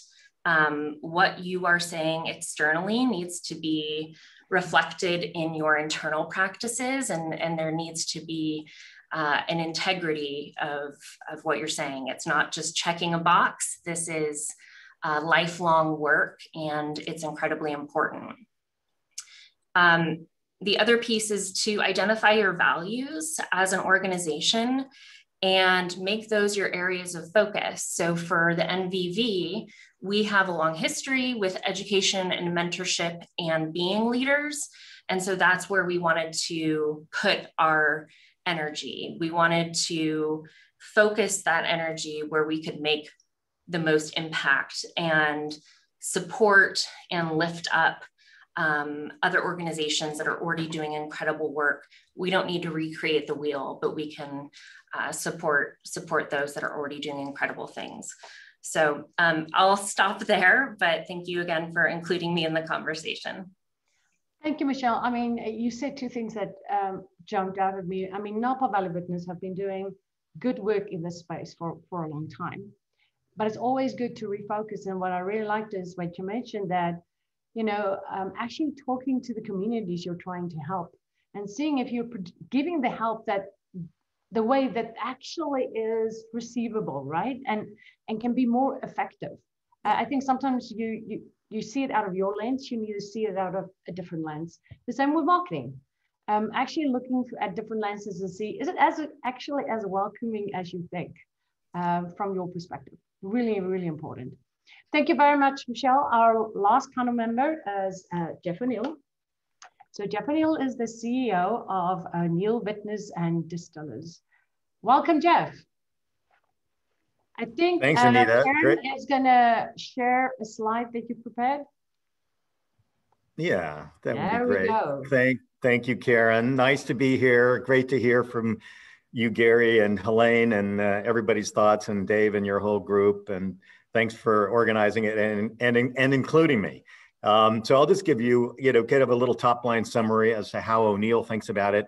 Um, but I think, you know, fundamentally, uh, look, the whole DEI issue is really about an attitude. And, and I think, uh, you know, it's just critical that uh, it's from the top down. And uh, so that's kind of the way we have thought about it. Um, we're probably a little bit more rudimentary than, than some companies about how we've thought about it. But um, I sent my notes to our, our CMO, who happens to be a woman uh, from Guatemala.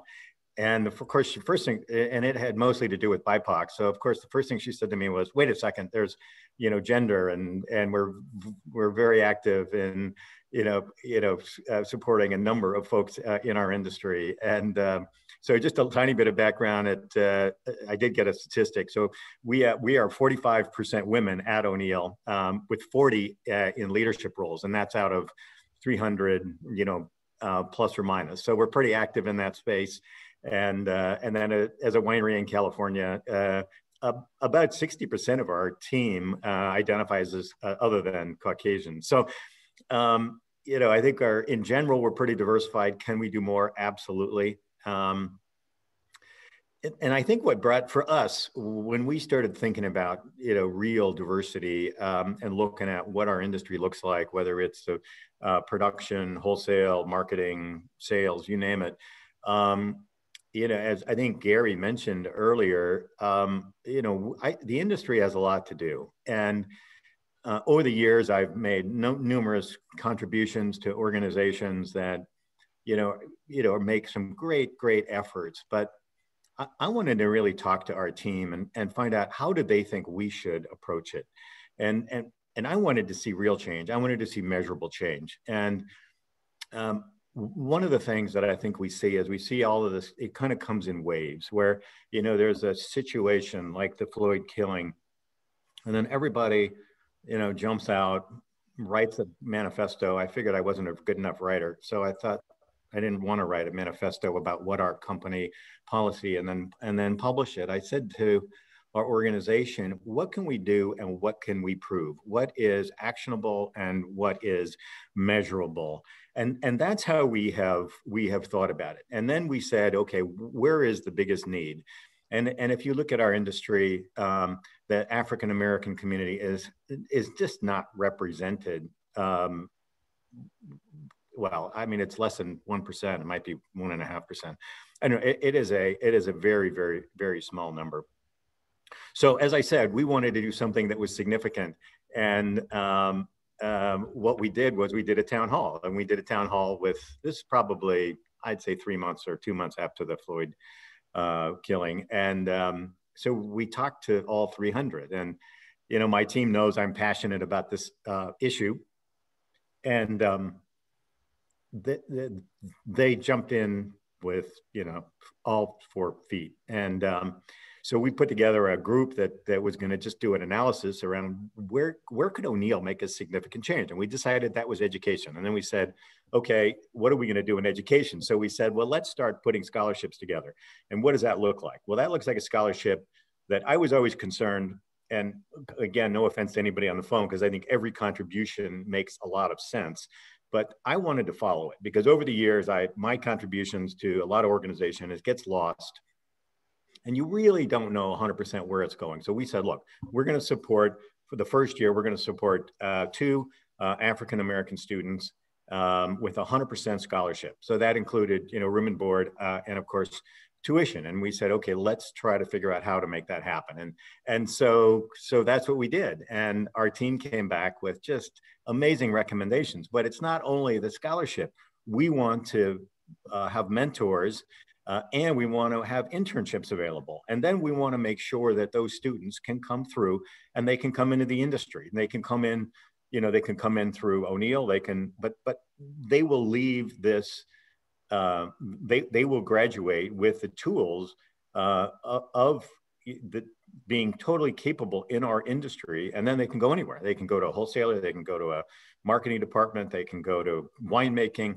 So we've done two so far. We've done one at Cal Poly, which is really about enology and viticulture, and we've done one at Sonoma State. And we just awarded both of them um, uh, in the last week. So we're, we're really excited about that. And, and I know not everybody in our industry can, um, uh, can, can fully fund two 100% scholarships, but but we're going to continue to do that every year, um, and then we want to watch that and and I, I, just believe it's if we when we can start pointing and measuring and saying, look, this is the action that we took, that we will ultimately be very proud of that, and and it will actually, you know, uh, bring a number of other people into the industry. So.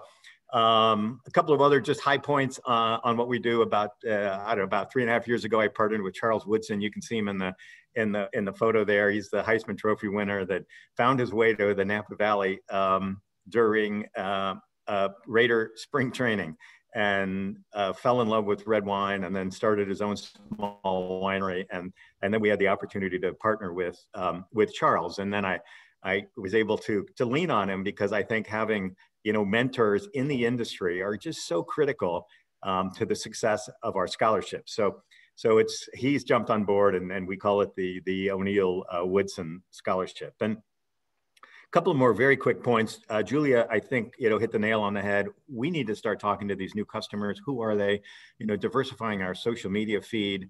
Um, you know, at, at O'Neill, I mean, we're, we're trying to look at how do we market to these uh, communities, whether it's, I mean, we know that the Hispanic community in California is going to be 40% and, and, uh, and in Texas is, is 40%. And, and the African American community as well. We have not, I don't think we've talked actively to any of these communities properly. And and I, I will tell you one of the great examples is that we're understanding now, and just this is just data. I, I don't have any particular inside, but but for example, the brand 19 Crimes launched a brand called Cali Red, and they did it through uh, Snoop's Instagram account, basically, and and uh, marketing, and and now they're going to sell a million cases this year, and and it has brought in thousands of new drinkers that that probably never thought of I don't, I don't know. It just it, it was just great that we were speaking with a social media um, to a community that I think you know we have a tendency to uh, ignore. So I think, look, I think for the industry there's a lot. Um, so in, in closing, and I know Anita wanted me to just come up with a couple of you know bullet points um, the first thing that i think is most important talk to your teams. If you're in the industry and you're on this call talk to your teams. You will be astounded as to what they say to you and how they're thinking and what you, you know not just young people but largely this you know i'll call it the you know the gen z the millennials um, they, they have a lot to say let me tell you and and you've got to be listening um, at the top and then i think the second thing is large or small actionable and measurable uh, makes a huge amount of sense. So let's just, you know, figure out whatever, if you're going to give money, give it, great, but try to follow it all the way through. Um, and, uh, you know, and with that, um, you, you know, oh, so, I mean, I guess lastly, we, we also, we, we have formed a, you know, we have this great uh, committee or team uh, internally looking at this and, and, um, and, and one of the, I guess really the second thing besides education was you know, can we have time off to go work in communities of need? And the answer to that, of course, is is yes. So we also, like I think a lot of people have, uh, time off, paid time off, um, to, to work in some of these high need communities. So thank you. Uh, thank you, Jeff. I mean, very valuable. I mean, I, I knew each of the panel is going to bring a little bit of a different perspective to what they're doing and what other people can do and so they can see what in their own environment they can apply something that you said that's really important is about anybody that can contribute it's really really important. Please do the little bit you can. But giving 100% scholarships i mean i'm from south africa and that's the problem that we've had. Um, a lot of the students come from very difficult socioeconomic circumstances and basically they need 100% support because it's already the cards are stacked against them to be successful in this academic environment. And then if they still have to do a part-time job to be fully funded so that they can focus on their studies it just makes it so much more difficult for these kids to succeed and so yeah, so that's a really I completely really agree point. yeah yeah So- that's exactly why we did it you know obviously we'd like to do a hundred of them but um but but again, you know, I, w- what I want to do is really test and see. Let's let's just make it work, and then then I think we'll, you know, we'll we'll have a you know pretty robust program. Yes. So we ran out of time. This is where everybody's cameras is on. I know this is Caroline's way to tell me, Anita, you're out of time. I'm always out of time. I would have loved to ask all the panel members questions. I'm going to say, Marcelo, there is a question in the Q&A. If you could perhaps type in an answer, I would be really grateful. Um, and we will try, anybody thinks of questions, I will make sure the panel gets it and we will um, send you answers via email. Thank you very much. Great. Oh, and I'm sorry, I'm sorry. I was supposed, I'm supposed to pass it back to Dave because Dave is the moderator for the next panel. No problem, Anita. Thank you. Um, so that, that was great information from various parts of industry on what, what some companies are doing and thinking about. Um, we thought it would be actually very interesting to take another, uh, to look at uh, what's going on in industry from kind of another angle as well. And so I have a panel of alumni from UC Davis uh, with me today. So thank you all of you for, for joining. Um, so I'll introduce the panel and then we'll, we'll hear a little bit about um, their experiences in, at UC Davis and their careers. So joining me today is Kale Anderson, who's the owner and consulting winemaker for Kale Consulting. Victoria Coleman, who's the winemaker for Lobo Wines. Miguel Luna, who's the vice president of estate vineyards for Silverado Farming Company. And Corinne Rich, who's the co-founder and winemaker for Bird Horse Wine. So thank you all of you for joining us. And I, have asked um, each of the panelists to, to kind of think about and answer kind of the following prompt is tell us about the opportunities and challenges that you found not only in your education at UC Davis, but as you entered and matured in the industry.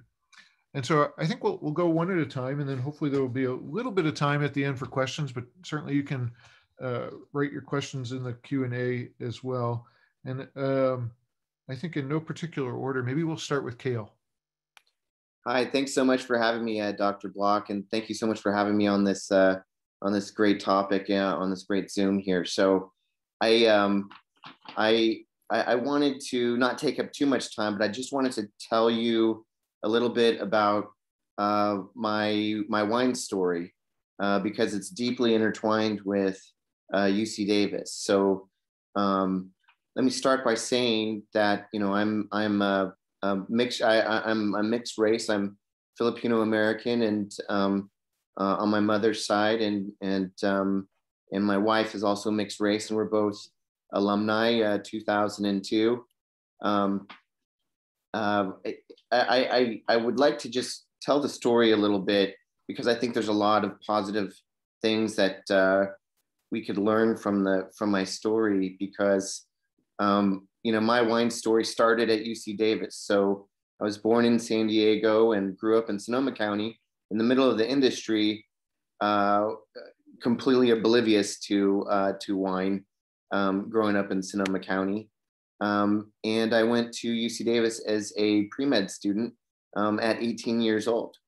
Um, and um, it was at Davis that somehow I stumbled upon the wine industry. And, and, and I think it, it's a great lesson to, you know, the faculty and to the, to the student body, as well as to, um, you know, administrators. Uh, you know, I, I feel like I'm, I, I'm a success story um, uh, because uh, Davis provided me space uh, to discover myself and discover my love of wine. Um, I was, you know, under 21 when I when I was bit by the wine bug.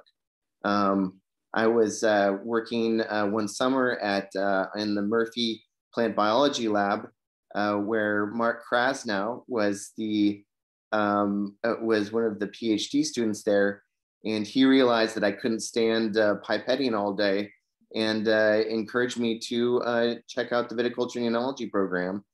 Um, and I was able to uh, discover the wine program and uh, discover my love of wine uh, when I wasn't even 21 yet.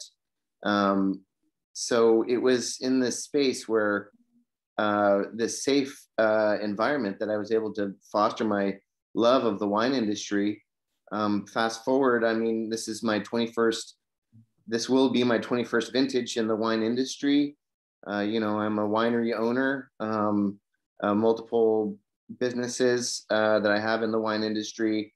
And it had to do with uh, uh, being mentored, uh, doing great internships, and being able to um, find my way in a in a safe place that was that was Davis. Um, you know, I, I started Kale Wines in 2008 started the consulting business in 2016 and making multiple wines for multiple wineries now. Um, and uh, it was this safe place at Davis where someone under 21 uh, without uh, any um, experience with wine on the table when I was growing up uh, to, uh, to, to get into this business. So, um, you know, I, I, think um, I was lucky uh, to, to be mentored as well as um, be trusted. Uh, you know, I think there's a lot of ageism in the wine industry. Uh, you know, that was not the case at, at Davis, uh, where I was welcomed with open arms into the program. And, you know, people were, I think, maybe a little bit baffled that um, someone like me was in the wine industry or wanted to be in the wine industry, you know, under 21 and at uh, and at UC Davis. But I feel like, um, you know, Dr. Block and the rest of the uh, staff was uh, very welcoming, and uh, and I and I was able to continue that into the industry, um, uh, you know, relatively, you know, successfully. So. Um, so I want to say thank you to the university for for giving me this opportunity and uh, discover myself. So Thank you. Yeah, and it, it is uh, somewhat as, someone like I said before who didn't grow up with with wine as part of our kind of family culture and history. You know, it is interesting to figure out how how do we get to to people like you or me to explain to them this could be an important career choice for them. So I definitely appreciate that. Victoria, would you would you like to speak next? Sure.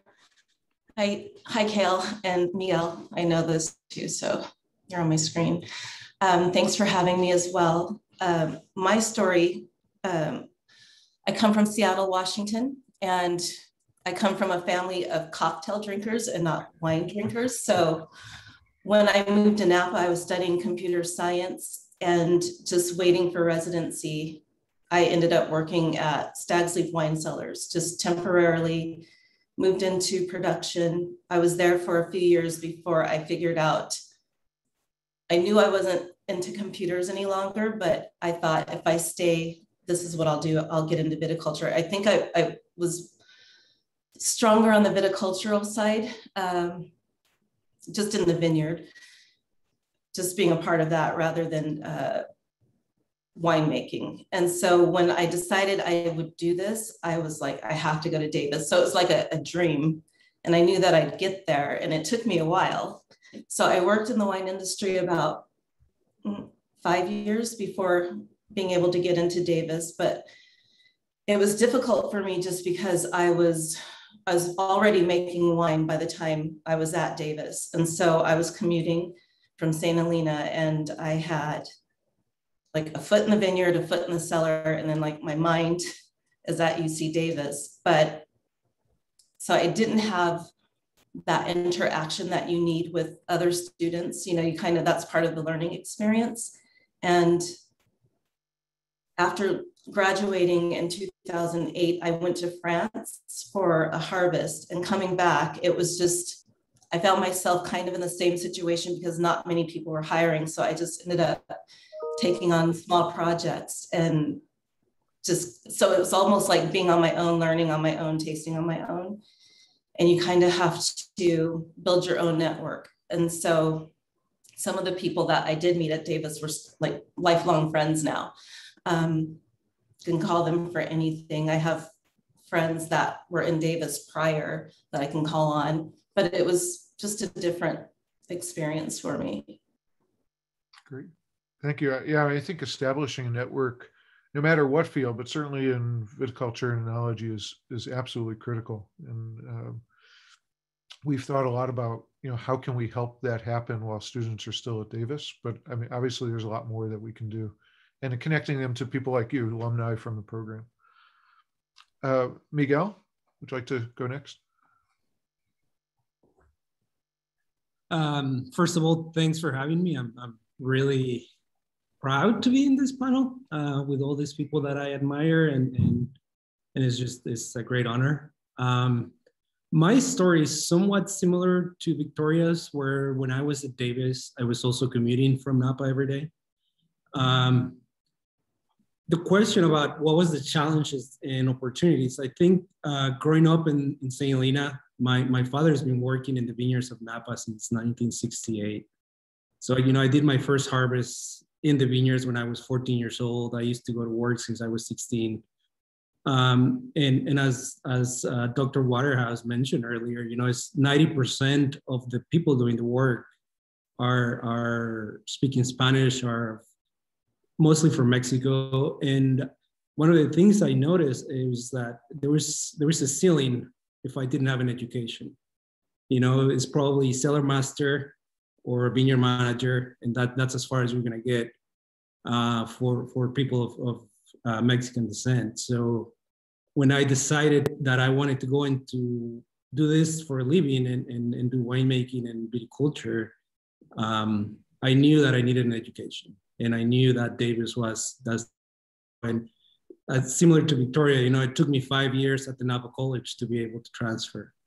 Uh, so I had been working for years in the industry before I went to Davis. And I knew that at, when I, once I was at Davis, I knew I was there to learn and, and go back to work. Um, I also did a harvest in France after, after Davis. And um, it's difficult for children of, of first generation children to know how to navigate the school system. Uh, you know, your parents are working all the time and they assume that the school is taking care of everything, and it's not necessarily when you're in high school. That's not the truth all the time. Um, so I think we we need to educate the parents on what they can do to make sure that their kids are being prepared for college. Because uh, the, the, reason I was in, in a junior college for five years is because I pretty much went to high school again at a junior college. You know, the classes I took when I were, were was in high school were easy high easy classes because I was an all mature kid and all I wanted to do was play sports and, and have a GPA that was good enough for that.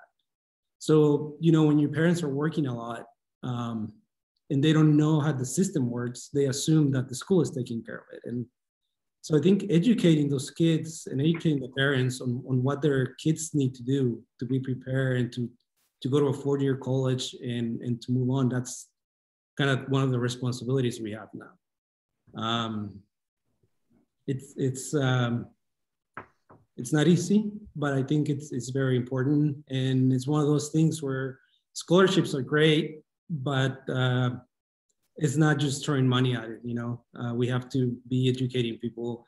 In in my mind, education is the only way to to be more inclusive in an industry. Um, just my two cents on that. No, that's that's a great point. I mean, I, I think about, you know, my in my family, you know, my parents were the first generation to go to college, and that meant that they had so much more knowledge when I was applying of what to do or not to do. And then, you know, I think about my kids who, my own children who have, you know, a college professor as a father. And that's the, you know, we don't really think about on a daily basis that we're, you know, steering kids in a certain direction when it comes to what courses they choose in high school or what advice do they do they get in high school to make sure they're ready for UC or CSU or community college or whatever. And it's that it, I, I, think you know your point of educating parents is is huge, and and doing it in a way that they're going to understand and appreciate careers and viticulture for their for their children. It's really important. There's also something about educating, and that's I guess we have to do that to our parents. Is uh, you know like when you're in kid of immigrants that worked in the vineyards, they're teaching you that you have to do better, right? So so get out of vineyards and, and work in something else. But I think we need to educate people to, to so they know that working there's great opportunities in the vineyards. There's great room to grow and to be successful. And you know you don't have to work in an office to be a successful parent, uh, successful person. That the vineyards are great in all LGBT culture. There, there's just room for success. And uh, since we're the ones, uh, and by we I mean people of color are doing all the work, we should also be represented in, in positions of power. Yeah, it's absolutely. It's a, uh, you know that's the E and DEI, the equity of of uh, what what we're talking about. So yeah, I very much appreciate that comment. Uh, Corinne. Uh, um, thanks so much for having me today. It's great to see all of you. It's our pleasure to have all of you. Um, yeah, my my journey in the wine industry really started out uh, working in the wine industry. I'm originally from Sonoma County, California. Um, my parents have no connection to wine other than being very enthusiastic consumers.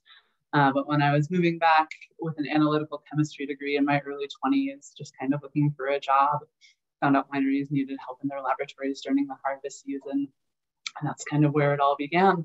I started in the lab, I moved to the cellar, um, and I did what so many young people do in this industry. I worked the harvest circuit for years. I bounced back and forth hemispheres. I got jobs in tasting rooms, uh, and that all eventually led me to UC Davis, um, where I met my now partner, Katie, um, and we have our brand Birdhorse Wines together. Uh, but I think one of the greatest challenges I faced along the way, um, as we're talking about DEI today, um, is as a queer person, every time you go somewhere new, you have to come out again, right? Uh, it sounds a little bit cheesy, but we, you know, coming out is not a single event; it's a lifelong process. And so every time I enter a new workspace, I have to, or when I'm applying for jobs, even I have to think, you know, is it safe for me here? Is this a good place for me?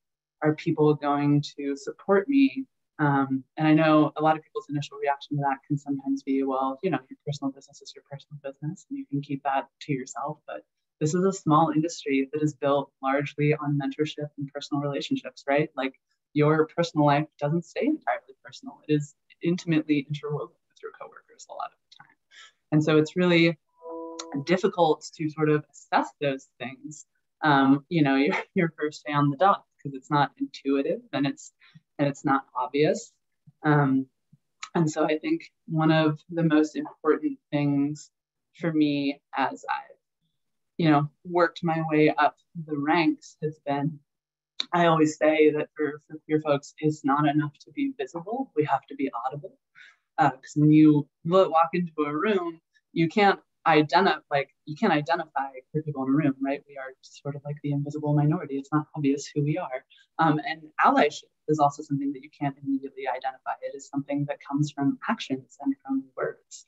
And so I think it's become so important for me to not only be like, you know, seen for what I am, but to also not be afraid to sort of tell people and, and be very clear that like, hey, I'm Corinne, this is my life, this is my partner, like you are welcome here, you are safe here. This is a good place for you to be for, for younger folks who are entering the industry now. Great. Thank you, all of you. So we have some um, interesting uh, questions in the in the Q and A, and um, this is one that I'll pose to to all of you. Um, looking looking back, would you have wanted a student group that served as a safe space to support you? Do you have any ideas how to create a group like that for students now?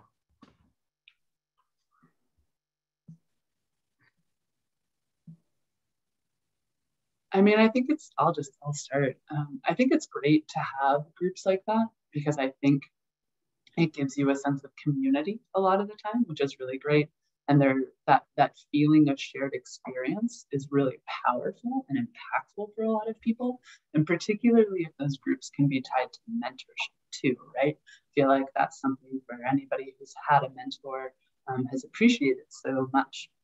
I think the only thing about them sometimes that requires a bit of delicacy is inherently by creating those groups sometimes they can be othering in a way and so it, I, I think as you're creating them, you just have to be really thoughtful about the messaging of them from, from my perspective. Great. Uh, other thoughts on that from your experiences? Um, I have an, uh, I was a member of uh, Devo, um, and uh, I, that that was a, a great organization uh, for me to be a part of.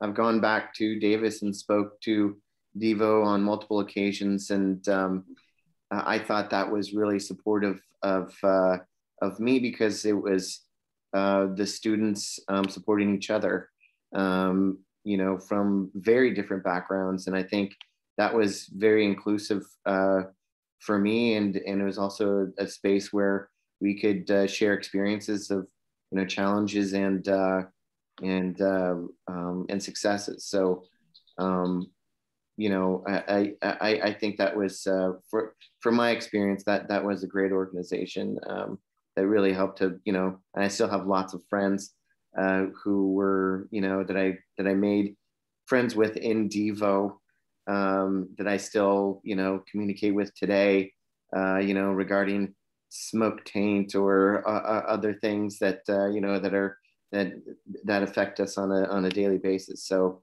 it's a, it's a great support group you know, at school, I think as well as, you know, the, those relationships that I have uh, with them uh, outside of school now.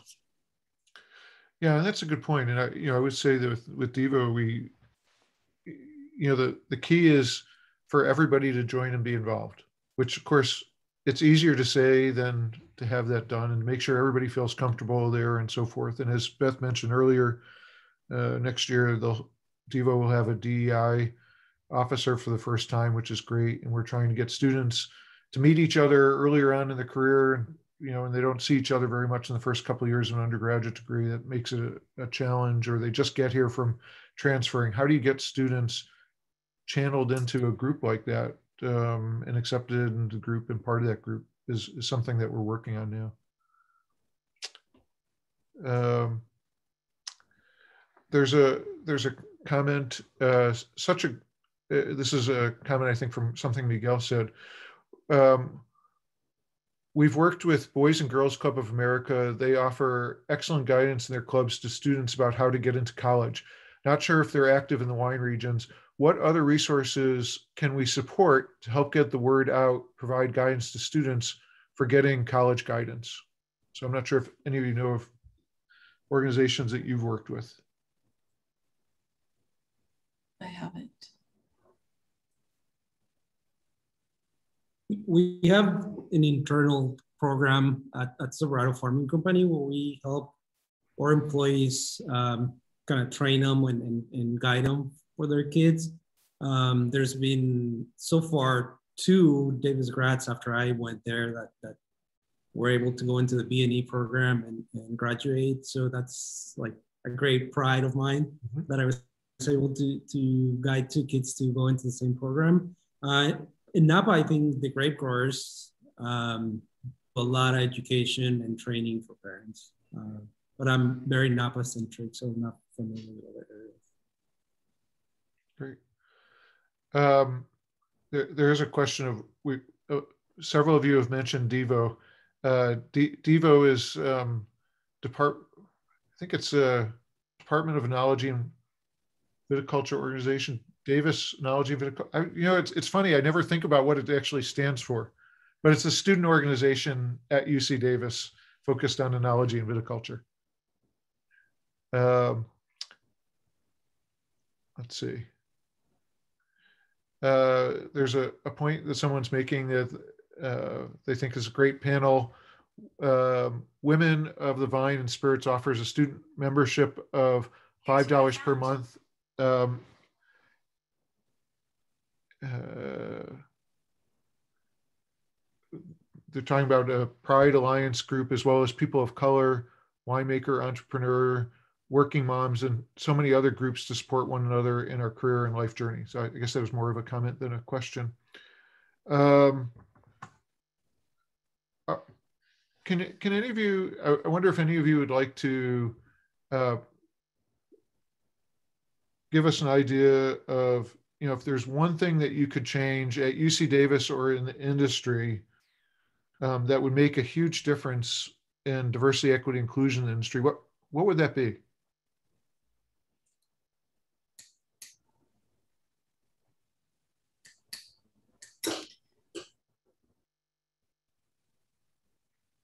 Or even small things that you think of or that you do that you think would be it would be good to have more support for that for that from the industry I mean, I just sort of, I mean, and this could be completely a reflection of, of my own uh, pursuit of resources at Davis, but it, and I'm so glad, like, like UC Davis is putting on this this whole panel right now, right? But I, I do feel like when I was there, which was not that long ago, it wasn't a big topic of conversation. Um, and maybe it was internally and I wasn't aware of it, um, but it, it didn't feel like it was something that there was an open conversation on necessarily for, for students. And so I think just being more active and audible about that would be would be something I would say for Davis. that's a good point. Mm-hmm. I, I wonder, you know, this is something that that you were talking about, Miguel, and some of you, some of the, uh, I think some of the rest of you mentioned this as well. This idea of educating parents and educating students about this being a great career. I, I was wondering, um, you know, in terms of the communities that that you live in um, and work in, um, you know, I think occasionally we've gone to high schools or had high schools come to us, as Andy was uh, talking about, or community college and so forth. And I wonder, um, in your travels through high school and community college and these communities, were there ever organizations that came in and talked about winemaking or grape growing as careers and and is that an opportunity maybe for for the future to get some of even existing organizations together to to do that in a more concerted effort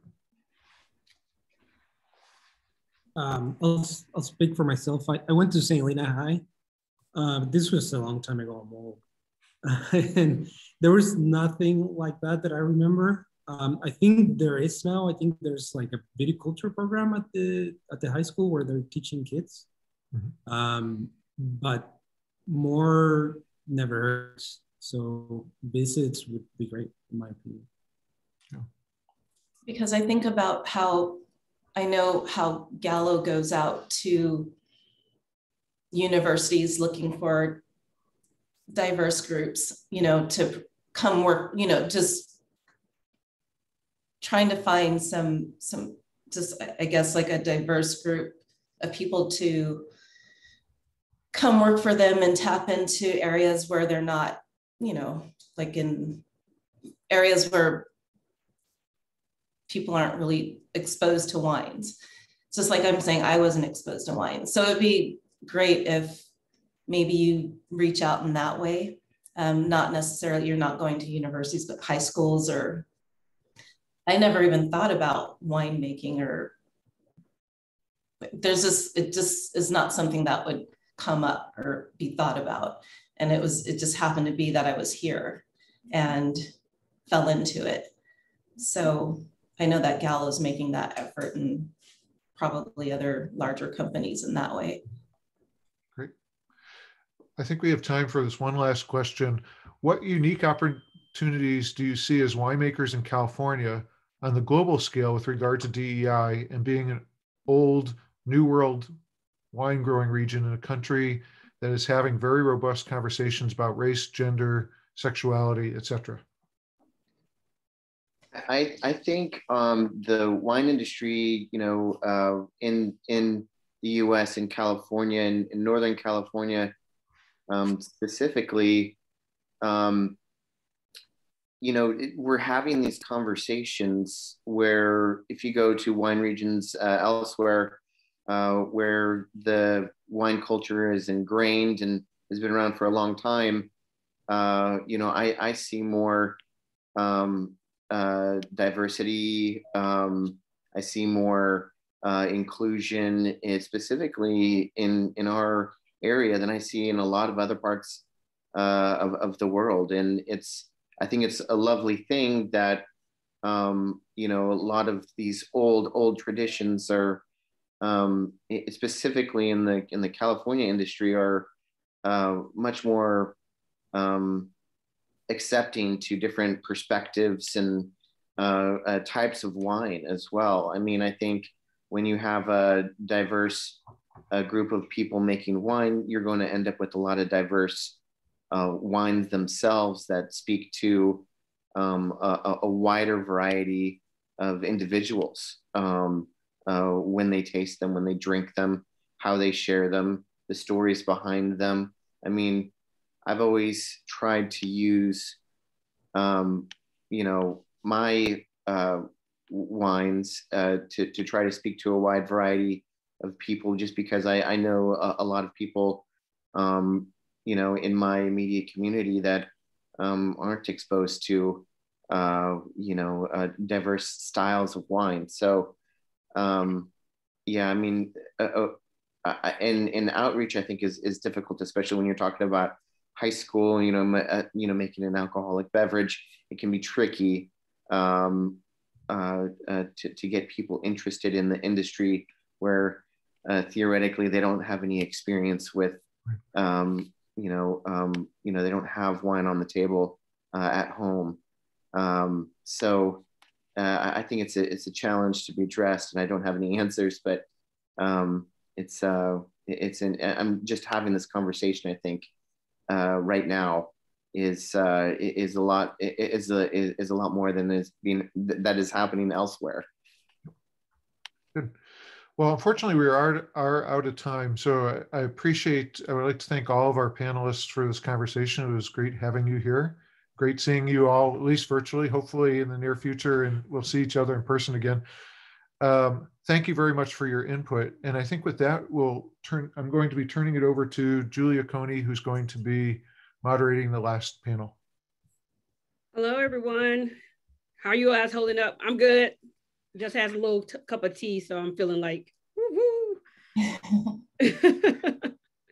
so um, my panel, um, we're waiting on Andre, but it has Teresa um, Priyanka is filling in for Alicia had an emergency. So Priyanka is filling in from Wine Unify and we have John and then we'll have Andre come on.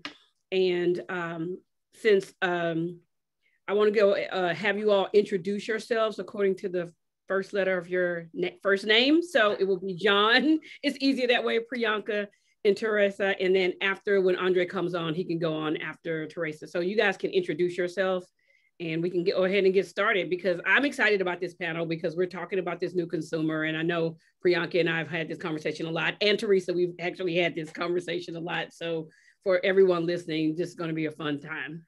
So go ahead and introduce yourself, John. Okay, Julia, thank you very much. It's been a very interesting morning. Um, I'm John Moore as Julia said. I now am in, do consulting and advisory work, but I also do a lot of analytical, analytical work around the uh, beer, wine, and spirits markets. And so mainly what I'm going to talk about today is the overall market. Um, and I'll go, I'll say a few more words as I get into my presentation with some of the market points. Okay, Priyanka. Hi, everyone. I'm uh, Priyanka French. I'm stepping in for Alicia. Today, we're both uh, board members at Wine Unify. Uh, I'm also a very proud Davis alum and happy to be here on this panel today, currently working uh, as a winemaker for Signorello Estate. And as Julia mentioned, you know, we've had quite a few conversations about this aspect of the industry and more importantly, about the work that needs to be done to make changes and to, you know, create initiatives to make a difference. So uh, thank you very much for having me here today. And Teresa. Hi, everybody. I'm Teresa Heredia. I'm the winemaker for Gary Farrell Winery. And um, I have been involved mostly in doing LGBTQ work, working with HRC, donating, attending events on behalf of Gary Farrell Winery. But starting last year, I was working on um, a lot of things related to diversity and inclusion, cultural diversity and inclusion. And so I've been in, in touch with Julia and some other folks trying to put together panel discussions. And I've actually learned a lot in the past year. So I feel like a newbie, but I'm honored to be included in this discussion. Right. And I, um, we talked last week, but John sent, he has some slides. And I mean, the data on the slides are just, for me, they were very, interesting. like something you know, but when you see the data, it kind of shows where the population is heading. So, uh, John, if you want to show those slides to everyone, they can we can and you can talk through them since you're the our marketing expert. Thank you, Julia. Actually, I don't know if I'm the marketing expert. I feel like I'm the old guy on this panel today. So, um, old is a mindset. Old is a mindset. No, just well, actually, I say another thing, Julia. Age, age, age is state of mind, and my wife still thinks I'm a, a infantile. So that should give you a different insight on me. Sorry, I'm trying to rearrange my screen so I can see a few things. Okay. Basically, I just want to give you a couple top line points on the market and um, demographics. And I do a lot of analytical work and I try and look at the facts. And so and another thing I should mention is that I've been involved in the industry since, and I've been fortunate to be involved in the industry since my dad put me to work in the vineyards in 1969 when I was 12 years old. And at that point, I didn't think I was very fortunate, but, but it's been very fortunate. I've had the opportunity to work for large companies running divisions, working around the world. And I've seen a lot of the industry. And I look back now, and especially listening today, you kind of kick yourself of if only we had done some things differently in the past, we would be in an even better place today. But so is life. I just wanted to touch on a couple things here. This total servings index, we look at how much uh, beverage alcohol is being consumed in the US. And we had this bump in the 80s where it declined and then it went back up. We look at legal drinking age population. It's been growing fairly consistently for years. But when you put the two together from 1990 to today, per capita consumption in the US has been flat. And so as an industry, we have kind of look that we're always fighting for share between beer, wine, and spirits. And within wine, you know, we're fighting for share with each other. And just to put in perspective, this growth of um, for about the last 30 years in uh, servings of alcohol has been about 1.2% a year.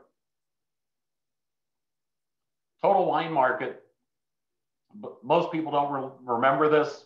Unfortunately, I've been alive for most of the slide or all of it. Um, but when you go back to the 80s, wine industry was growing. And we had the boom of wine coolers. We saw a boom in a growth of wine from roughly uh, 1993 to 2016. total beverage alcohol was growing at 1.2%. Wine was growing at 3.5%. Wine share of beverage alcohol actually grew from about 11% uh, to 18%. And we had an interesting uh, stair step of wine offerings for people as they grew into wine, from wine coolers to what were the old Gamut brands. You can email me if you ever like to find out what Gamut means, the fighting varietals, premium varietals. But we had this on ramp that allowed people to learn about wines, understand, um, move up the product range at different price points. The interesting thing looking back in 1993, when the growth started, the average baby boomer was 37. And a lot of the industry talks the millennials aren't doing enough. Uh, the millennials in two more years, their average age will be 37. And so I look at the millennials as being a great opportunity, but it's a much different uh, market. I'm just using some uh, 1990 slide and then 2020 and 2040. But in 1990, um, the US population, this kind of gives you a sense that non-Hispanic white is this green bar. And it was very much uh, non-Hispanic white was a big driver at age 37 to, well, 31 to 50. Non-Hispanic white, I think as an industry by happenstance, our most of our focus was on non-Hispanic white consumers. It's partly why we have Eurocentric uh, matching of wine and food. Um, and I wish we had thought more about expanding the base for where we want to look at where we need to be 20 or 30 or 40 years from 1990. And as everybody knows, grapes, you know, take a long time to mature and uh, it's a long planning period. But when you look at 2020 and you look at that non-Hispanic white, it's a much different perspective of what we're looking at at the market today. And as we move forward, it's going to be even fewer non-Hispanic white. And as an industry, um, Julia said earlier, you know, how do you have soul food in wine and match and everything else? We need to be looking at, and I wish we had been looking at 30 years ago, doing more with matching soul food. We did a little bit with Asian food and just uh, matching certain styles of wine with Asian food, very little with um, Latin food.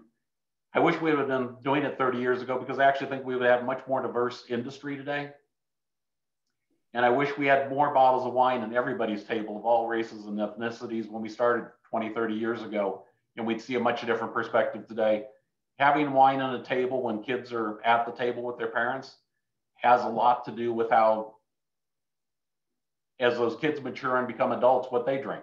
And I wish we had done that. Looking back as an old guy, as I say, um, can't change the past, but need to look at how we do better in the future. And with that, Julia, I'll turn it back over to you. Okay. Oh, Andre has joined us. Andre, can you introduce yourself for me? Sure. My name is Andre Mack. I am the owner winemaker of Maison Noir Wines, uh, sommelier at large at & Sons Hospitality. Thank you. Welcome. Okay.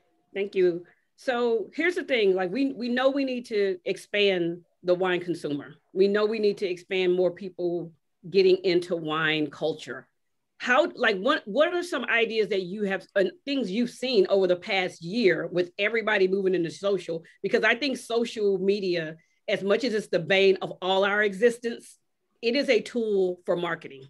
It is a tool for a new wine consumer. And so how do we translate that consumer moving into it as a as part of the industry if anyone want to start answering like that, how do we do that? Priyanka, I see you shaking your head.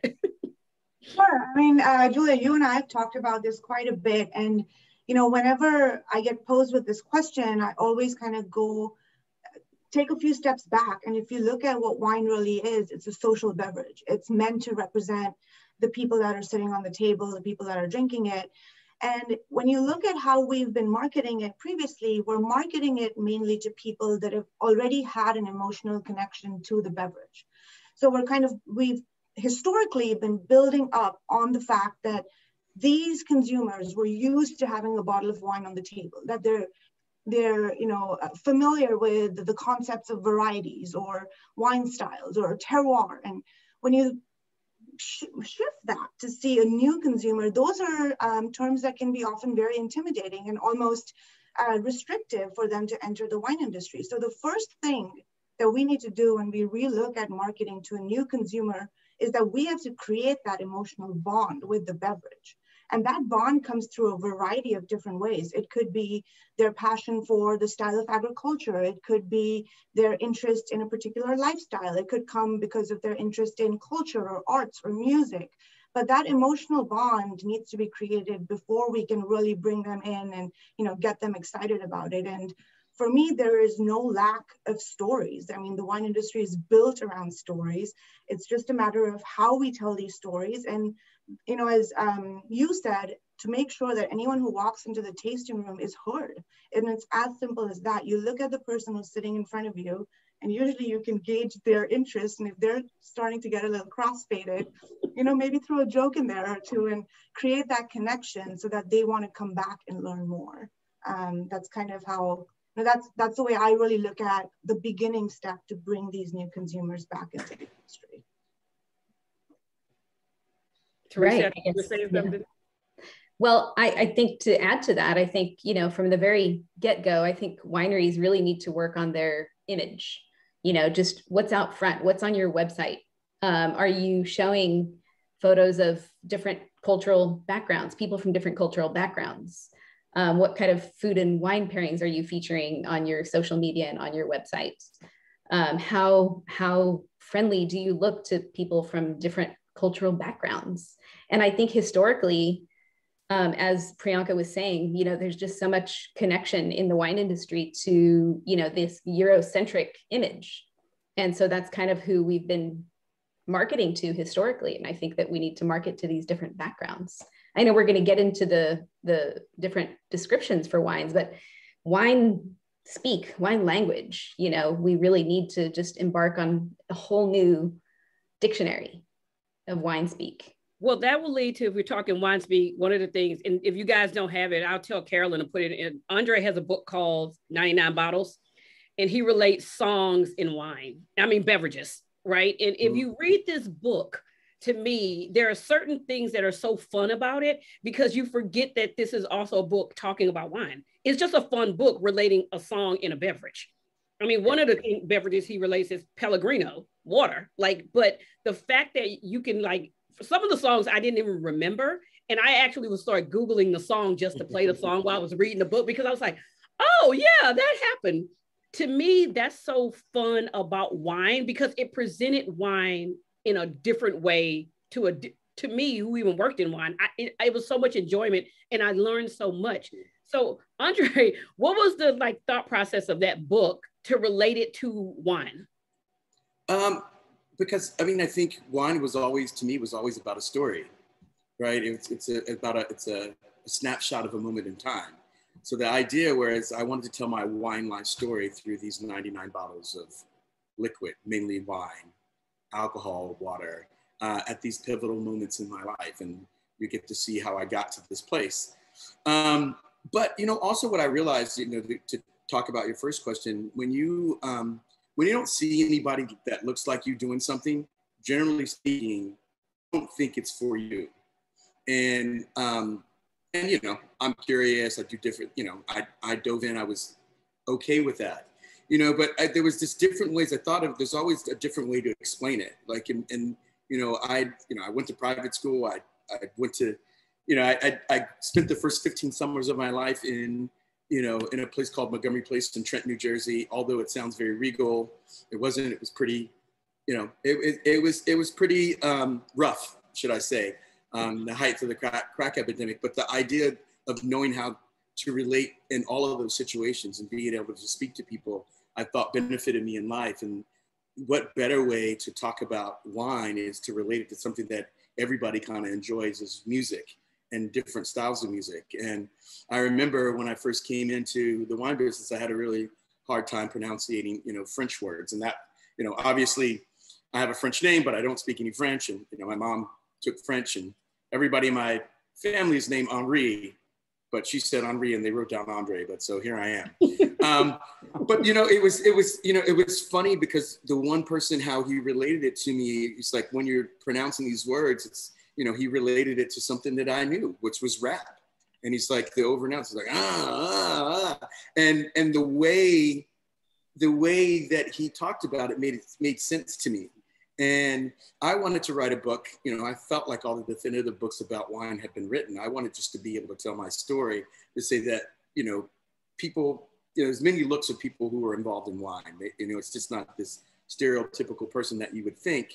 And and for me, I realized that for the for the first time, it was going to be it was going to be a lot of people who looked like me for the first time would ever were ever going to pick up a wine book, right?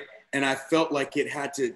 I wanted to tell stories, and along the way, I wanted the information to be native, right? So you learn a, a lot about wine, but it, you're you're intrigued by the story that you kind of forget, like, oh, he just said Châteauneuf-du-Pape you know, 13 grapes now it's like 14 with the white, whatever, you know what I mean? Like, and I just wanted to be able to tell the story in that way and make it fun. You know, it looks, it's disguised as like a guide, but it really tells these really personal stories about me. And I, and I've always felt like, you know, there's many different ways to talk about wine and describe wine. And that was just the subculture of what I found working in some of the best restaurants where, you know, we all had a way of how we spoke about producers and, and different wines obviously it wasn't something that we would say in front of the guests, but it was just how we passed the time. And that was just something fun and interesting. And I just wanted to be able to, to share that with people. Well, awesome. looking at language and talking to Teresa and even John, I'm going to say, if you could change the language in which wine was marketed, just say 20 years ago, what would you improve upon? Well, well oh, back, go ahead, John. Go ahead, John. go ahead, go ahead, Teresa. No, please. So I was going to say, looking back, you know, I always said, you know, people would talk to me about wine and they apologize because they drank white Zinfandel or something. and I think the first place we have to start is the best wine in the world is the wine you like best and keep it simple. And we also have to remember that, you know, the majority of people don't go to taste winery tasting rooms. We need to make wine part of an everyday life. I truly believe that um, Priyanka said it's a social beverage. It needs to be at the dinner table at home. And social is being around your family and being able to drink wine with your family and children learning that it's part of everyday life. And, you know, I can't tell you how to do it. I know how I've done it with my family and my grandchildren and things. It's different in every household. You know, again, how to, what wine terms, as you said, Julia, why weren't we 20, 30 years ago talking about this is the way you match wine with soul food? This is the way you match wine with uh, tamales. I don't know, whatever, pick it. Mm-hmm the reason I said that yesterday, I had family over and I was telling them about this panel, and I'm from the South. So my setup was I literally had oysters, had crawfish pies, I had shrimp po' boys, but that was my setup for food. And of course, I'm pouring different wines. And I think like the reference of they kept going, oh, I thought you would have something fancier than this and that was a concept to them because it was like all these nice wines with something we normally always have. So the question is how do we get from like how do we bridge that it can have eurocentric food and part of that language but culturally at most people's homes you don't eat that. Most people are eating macaroni and cheese and sometimes it's Kraft Sometimes it's fancy and mm-hmm. sometimes it's Annie's. Like being realistic, like about the way we're presenting food and wine. If it's on the table, whose table are we talking about though? Because my dinner table looks different than it, than Priyanka's looks different than Andre's. I mean, it looks different than Teresa's. So when we're talking about having it on the table, but the images we are seeing are not presented with the mac and cheese or you know, potato chips or just like ham. I mean, Andre has a ham bar. So, I mean, things like that. So, how do we get more people who actually want to drink the consumer where they feel wine belongs on their table with their dishes? Well, I, I think, think we need a dictionary. Oh, sorry, Priyanka. we need a dictionary. We need a, a cultural wine wheel. You know, we have this aroma wheel let's let's make a i mean andre created 99 bottles. I my you know vision has been to create the cultural wine wheel that features descriptors specific spices and types of food. Like my wife is caribbean. So um, thinking about the music and the food you know if we can you know talk about both of them. I mean i think our culture wheel needs to include flavors like mango and uh, adobo which is you know probably the key seasoning in caribbean cuisine other descriptors that we can definitely use to describe wine. We can pick out these different flavors. Wine doesn't just taste like or and smell like brioche or coulis or cassis. You know, we need to make it more broad. Is that working with like education bodies to actually change the language? I believe so. I think we need we talk about the aroma wheel in in school. Mm-hmm. Let's let's talk about the cultural wine wheel, and let's talk about different cuisine pairings with food. You know, and um, I can get into a little bit more about what we've talked about doing at the winery to try and bring in more, you know, diversity to the winery, more cultural pairings with local restaurants, ethnic cuisines.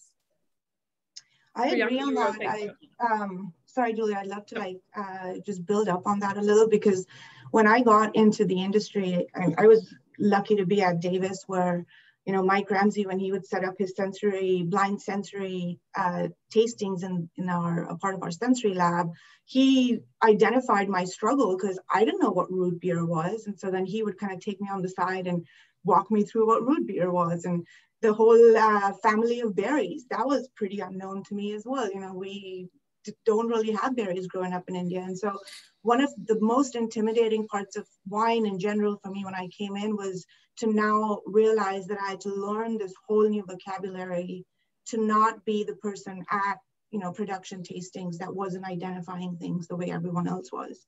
But I agree with what Teresa said because with Wine Unify, we have all of these, you know, we have young candidates who maybe are not working in wine, and then we have established candidates who are looking to advance their careers. And we'll sit down and we'll taste wine with all of these amazing individuals from different you know parts of life different walks of life. And to hear what people are picking up on has been such a fun journey because that is your perception or your aromatics the descriptors that you go to. They're so interlinked with your cultural upbringing and the aromas and flavors and textures and uh, things that you're familiar with. And that doesn't mean that they're wrong descriptors. It just means that those are the familiar words. The so world think, of wine doesn't actually talk about the world of wine. Yeah. so, you know, like I pick up cumin, for example, in a lot of wines, and there have been tastings where I've been told, no, that's not true. And I'm like, well, I also cook a lot with cumin, so I feel like I know that there is cumin in this wine, you know? And it's a matter of just making that that conversation more open so that when people do pick up on things that come from their ethnic backgrounds or their racial backgrounds that they're not dismissed. I think that is step one is to be open about the fact that perceptions are different and they're supposed to be that way. And that's one of the coolest things about wine is when you sit on a table everyone is tasting or smelling something different from you. And that's and i think at least for me that's what i teach. It's like no, no, no, this is not formal. The first thing that comes to mind, say that, right? Because generally it's a, it's a, a taste memory thing where you're like, oh my God, like I, that smells like Big League Chew, bubblegum when I was a kid. Or, you know, the one, you know, lady that was there that said, you know, this reminded me when my grandfather used to pick me up. And I said, so what about it? Was it like, did he have an aftershave? Like, what was it? And she's like, well, no, he, you know, he just had like a, uh, you know, a couple things of cigarillos in his, in his shirt pocket. And I was like, oh, so what you're smelling is cedar and maybe some tobacco, right? There's a way to translate it, but I think what makes it fun is is like to say what it is, and we can always backtrack to figure out exactly what that is or somewhat in that field. But that to me, that makes it the fun part about wine. And I tell people, don't give up. Everybody wants to give up their power to say, oh, I don't know anything about this. You're an expert in your own taste. You don't need anybody to tell you whether this hamburger tastes good or not right? You're gonna put it in your mouth, you're gonna taste it, and you can say this. Somehow wine is different, right? Where you come, it comes with, you know, tasty notes that are elegant. You know what I mean? Like this fantasy world. But like, when's the last time you ever sat down at a cocktail bar and looked at a cocktail and they told you the list of ingredients, but they never told you what you would taste, right? You know, so I always just felt it was always just like this. It's all this extra stuff that really doesn't need to be there. And as you start to peel back some of the layers of the onions and get down to the crux of what it is, let's start there first and then start to back up, right? And I always tell everybody, tell tell me what you smell here. You, you know what I mean? Like there's no right or wrong answer. And that's when people start to like they relate it to things that they that's in their everyday lives. Like for you, said, I smell cumin. Mm-hmm. You, you, know what I mean? It's like it's it's something that you're around all the time and that that's what you get. And um and some other people may not pick up on that. And I think that's the beauty of it all. And once we start to embrace that more and say that there we always say there's no there's no wrong answer and those kind mm-hmm. of things but people still aren't um, you know they don't feel comfortable enough to, to say well what do you taste you're the expert and i was like well i'm not i'm expert in what i like to drink i wrote this wine list right? But like I'm just I'm just a tour guide, right? I'm I'm just here to to get you to that place of of you what you say you like, and you know, so be confident in that. Like I mean,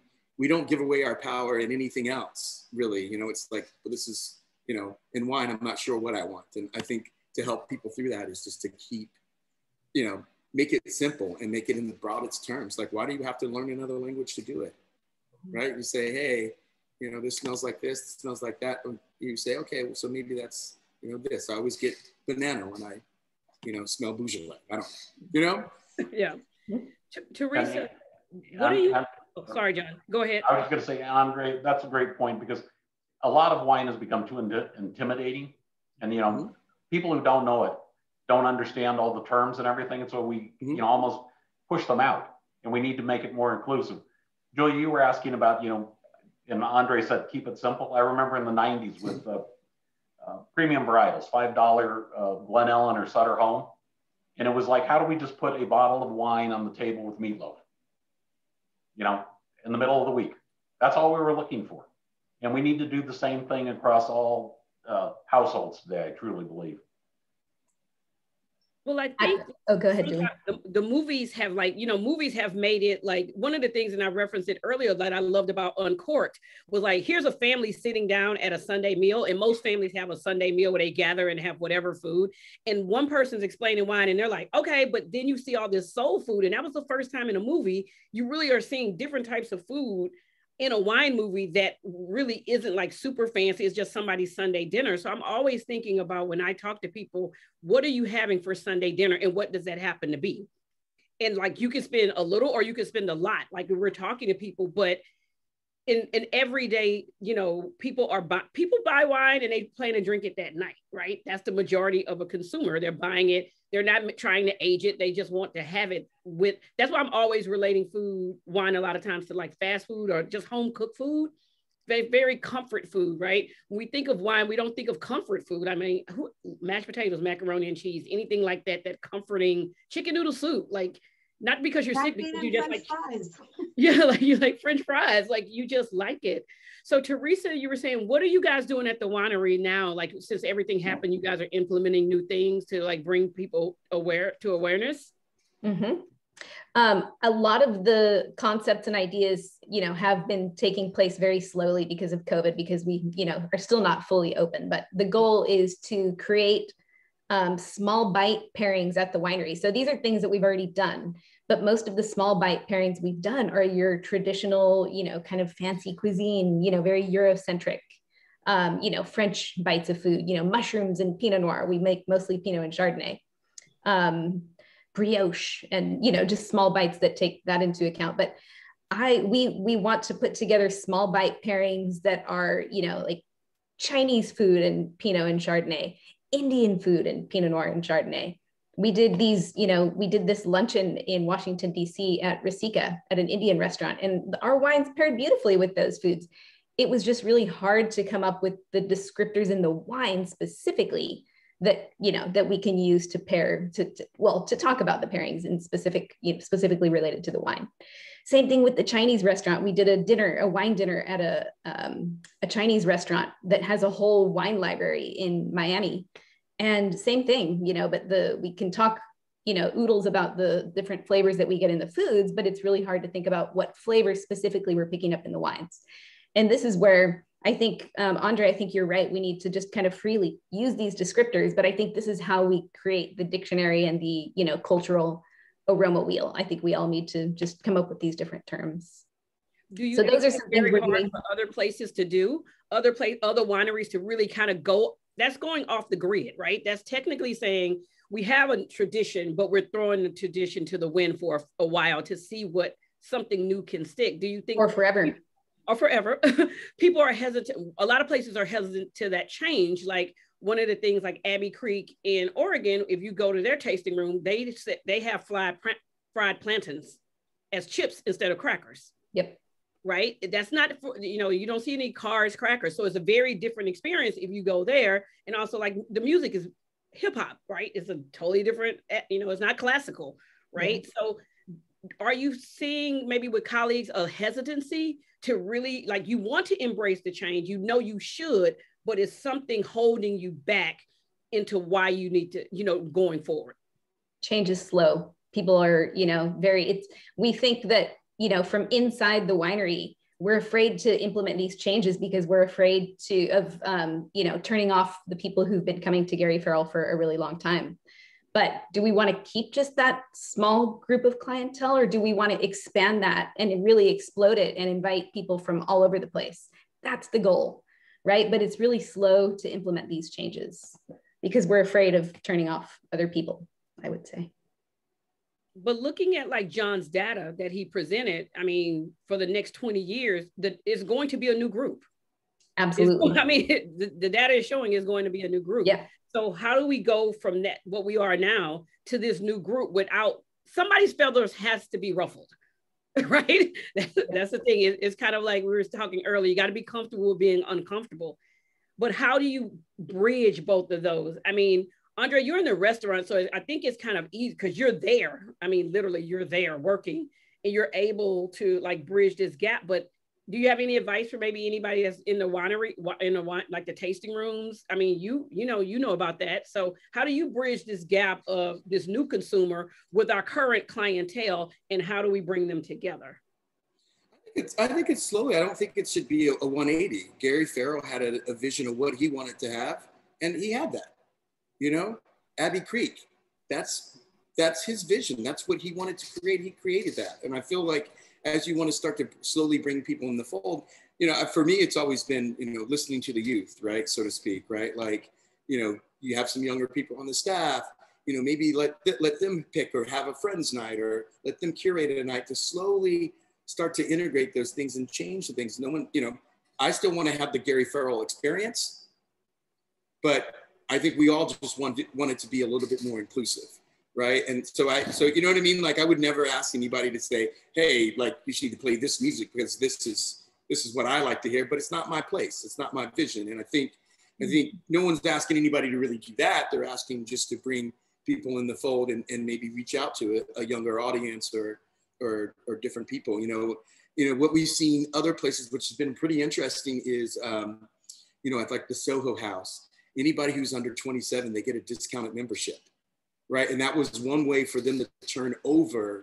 you know, what they had was, you know, they had a certain type of clientele that was going there, the finance guy, blah, blah, blah, blah. You know what I mean? And all these things, and they turned it over, uh, you know, they gave discounts to creatives and people under 27 to kind of, you know, maybe that's a way, you know, give it, offering a discount to someone under a certain age to, to encourage them to be a part of it uh, and kind of create these nights and those things. And slowly that all becomes in there. Now, you know, now they're over 27 and, but now they're, they're part of the Gary Farrell family. And now they, you know, they feel comfortable in a way, right? You've kind of, they've kind of, you know, climbed the ranks, so to speak, or gone through the system. Um, no, that's what I look at it. I, I look at it in this way of like, you know, just, in, you know, making it a little bit more accessible, not this thing of like changing your whole thing upside down. Like you don't want to like totally, you know, alienate your whole customer base, right? But you just want to, you want it to be a little bit different. And so I think you start to make those smaller changes that kind of help, mm-hmm. like create this bigger vision. And doesn't have, and it's not a overnight thing, in my opinion. It's gonna, it takes years. Just like those, you know, the data that John put up, it's gonna take years. It's gonna happen, but it's gonna take years. It, I guess the question is what we should be asking ourselves: What are we doing to to encourage that, or to be a part of that, or embrace that when it happens? No, Could I add to that really quickly? Oh, um, I think that it's really important to, adding on to what Andre is just talking about, it's really important to train your staff on diversity. You know, if we're going to welcome people from different cultural backgrounds, we need to educate them on what are these different cultural backgrounds. You know, what is it? What does it look like to be from a different cultural background? You know, we need to be welcoming of you know different hairstyles, different jewelry, different ways of dressing some people are some cultural some cultures are mm-hmm. better than others you know and you walk into a winery and the winery experiences tend to be really quiet and toned down you know classical music and soft jazz and you know soft pop music but no crazy hip hop no bachata no you know what i mean like let's mm-hmm. open it up and make it fun anyway that's it I agree. I'd love to add on that because we're in the process of redeveloping the Signorello hospitality program. And I agree with what Andre said. It's not a 180 degree shift, but you know, we're thinking of the younger consumer doesn't really want to just sit down and taste wine and have bites. They want experiences with it. So a lot of our new hospitality stuff will involve like a cheese making class with wine or really connected to an experience that still has elements of the same philosophy of winemaking in terms of sustainability, environmental responsibility. Um, and then on the other hand, you know, we're going to do these pop-up kind of pop-up shops uh, with a couple of different chefs from the Bay Area, from all kinds of uh, backgrounds as well. And so when your program is designed to be inclusive, just as an overall overarching program, when you're saying we're going to have a little bit of this and a little bit of that and a little bit of this and a little bit of that, you're automatically going to bring in a clientele that represents each of those different facets. So it doesn't have to be, you know, we're, I think the minute you start to think about it as we're going this way or that way, you're kind of losing track of what inclusivity actually is. The point of being inclusive is that you want a little bit for everyone. You want something in there that's going to connect with everyone. Well, how does that work if somebody doesn't like, you know, you have a lot of smaller wineries, right? They don't have a hospitality program. I believe this is when you could really do an impact in social media. I yes. mean, as we saw this year, social isn't going anywhere. And I mean, like I say, it's the bane of all our existence. We kind of have we have to do it. I mean, in a way, but I think that can give a unique perspective. I mean, there was a comment in the chat in the Q and A box where somebody had never heard about Mangu talking about wine, right?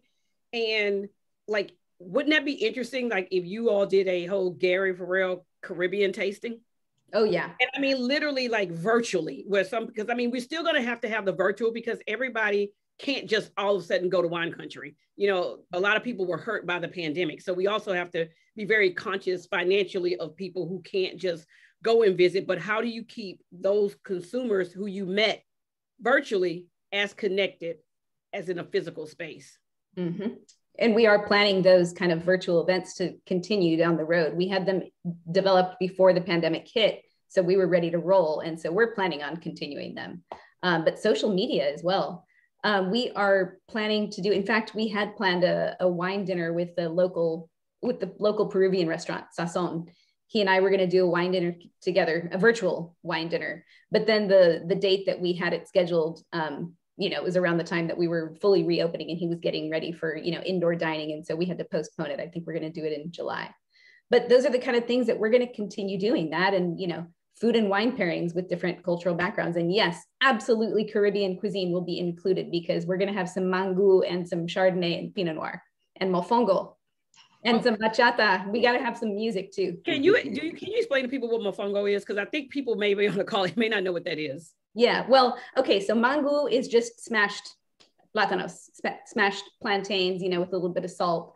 Um, sometimes, you know, you can have some, well, obviously there's garlic in it because Caribbean cuisine are, always includes garlic. And mofongo is basically um, like mangu, it's um, green plátanos, both of them, mangu and mofongo. But mofongo is the plátanos smashed up, and then you usually have some sort of a, um, like a simmered garlic sauce that you pour over the top. Um, there's often um, chicharron, so fried meat, fried pork mixed into the mofongo. A lot of times it comes with the like a red crab sauce that gets poured over the top. It's just basically the the vector for these delicious sauces. And I have a question for everyone to answer. Where do you see tasting notes going? And the reason why I say I want to bring up tasting notes with you all is because tasting notes to a lot of people, they don't understand them. A lot of consumers, I, I deal with a lot of consumers, they don't understand tasting notes and they don't understand why they exist because in their mind when they go to research a wine it doesn't explain anything to them per se. So what do you feel about like the way of tasting notes should they evolve? Should they stay the same? Should they get shorter more concentrated on the consumer? Or should there be like because think about it like when you read a lot of the websites i mean the language i'm a writer by trade too so i understand the flowery language used to describe a wine. But if i'm a person going to buy that wine you know, or someone explaining it to me and I'm looking at my phone and I'm looking it up on the website, where do you see tasting notes is going? Because I see tasting notes in consumers like very equal in a way, but a lot of consumers just don't know how to read them because I think they are kind of technical and there's not a space for the consumer side of a tasting note? Uh, I think for me, we, I don't know where they go. I, I don't believe in them. If you read my book, um. I kind of totally make fun of them. You know, I relate wine or pair wine to it, well, my book to um, to situations, right? You know, that kind of thing. But for me, it's been music, a situation, painting a picture. You know, I think more for me, it's like painting more of an emotional connection to to something. You know, this is like, you know, walking across freshly mowed grass, eating, you know, a handful of Skittles or something. You know what I mean? Like for me, you know, like just painting something different. I I look at it as an area to to be humorous, um, but still get across the point of like, okay, fresh cut grass. Like I understand, I I understand what that is. It's kind of grassy, but he's eating like Skittles or fruity, you know, that kind of thing. I try to have fun with it because I think in some ways it's kind of useless to the average person right? And then it, then it's it's like, well, are there strawberries in here? Are there blueberries in here? Like, what's in here? This kind of thing. But you know, I try to I make fun of it, so that's that's what I do. Oh. Uh, you know, I you know I I recently just I, I mean I use emojis to describe a wine because it just feels like you know that's an easier way to look at it. Here's these pictures. There it is. Boom. That's it. Um, and you know we've been I've been doing a lot of that kind of stuff, and some people have been upset, but I just I think the modern tasting note is kind of useless for for for for the masses in that way if you're not like early in the industry. Can you can you explain can you explain about people being upset? What do you mean? Can you explain well, I think, that? I think yeah, I think you know I think for a lot of people, you know, they look at what I do as like, you know, maybe like dumbing down wine too much or something like that. My thing is like, what difference does it make? We we all use emojis. We didn't we thought it was silly, especially you know, of a certain age, right? And I was like, what are we doing? What are they putting on here? Like, but the idea that like, hey, like I understand that, like, you know, this is this, you know, you know, we put different things on it. This is how it makes me feel. I feel like this. I talk a lot about mine in a way of an emotional connection. You know, how it makes me feel, that kind of thing. And the easier way to co- convey that to me was through emojis um, which is like exactly what they are. Um, but you know, I think you know sometimes you know when you introduce something new, people uh, you know people are upset. They feel like that you're like you're um, you know changing you know their their culture or changing you know what they love you know certain part about wine. You know, I made wine t-shirts. People didn't like that, but you know I just did it. You know, you know just we, you're in control of that. So I just decided to change it. So I don't I make fun of tasting notes. That's just my thing. And I think at some point they'll they'll go to a different way. I mean, we've hired impersonators to do different voices to to to, to say them, you know, just different, just like trying to make it fun and interesting, but it's kind of kind of useless in a way. I mean, in, in a way, outside of a way, technical, sometimes it's good, you know, depending on who's writing it. But like, from all intents and purposes, for me, it doesn't really work. We don't, in our wine shop, we don't, we don't write anything everything's a conversation. The person we offer what we call table side service, you know, based off my restaurant background. Someone comes and talks to you. And if that's too much, when it, if you have any questions, come to them with the questions. But we, we don't write, hand write anything and have it posted on anything. Okay. That's my Teresa. No, I love it. Teresa, what do you think? Tasting notes. Would I be uh, would I be uh, offensive if I if I had a differing opinion, Andre? no, no, not at all no, I'm just kidding. I do think that we are we need to go in that direction. Um, but I think that people have come to expect. You're talking about this. You know, it's difficult to change. People have come to expect some sort of a description. Like when I first started drinking wine, I couldn't afford to just go and you know buy European wines and just drop cash on these great bottles of wine. So I actually relied on those descriptions. You know, I would carry out a little printout of you know the vintage descriptions and um, you know, the different regions of the world so I could have an understanding of, you know, where, what to try from where. And I relied on those descriptors, even though those descriptors were very Eurocentric. So I think we need to work again, getting back to the terminology, the wine speak, the wine verbiage, the wine dictionary. I think that our tasting notes need to evolve into something new. And maybe we incorporate these, you know, emotional descriptions in addition to different cultural descriptors, musical references, making it more fun and engaging for people something that taps into those emotions like Andre's talking about. John, your thoughts on tasting? You've been in marketing a long time, so you've seen a lot of notes. I think they've gotten ridiculous and more ridiculous over time. Um, and most times I want to throw them away because I actually don't think they're that useful. Um, apologies to be so blunt. but, but I also think there's this, I have a difficult time with tasting notes because it's like working in a restaurant and reading the table and understanding what they want or need. You know, everybody needs something different. And what we wind up doing is making it all homogenous and everybody's going to get the same thing. It doesn't work. And I think almost like uh, we almost need the human notes and the technical notes. And how do you start to put tasting notes together so you can hit both sides? You have to almost maintain them, as Teresa's saying, people need them, but you need to make it like two pieces or something. And most times you don't have enough room. I don't have the answer to how to get there, but somehow we, as Andre saying, we need to evolve it because where they are today, they are ridiculous. Mm-hmm. Priyanka, I see you're laughing. I'm laughing because tasting notes has been a journey for me personally. Um, because when I when I got when I had to write my first tasting notes for the wines I made at Signorello Estate, I dove deep.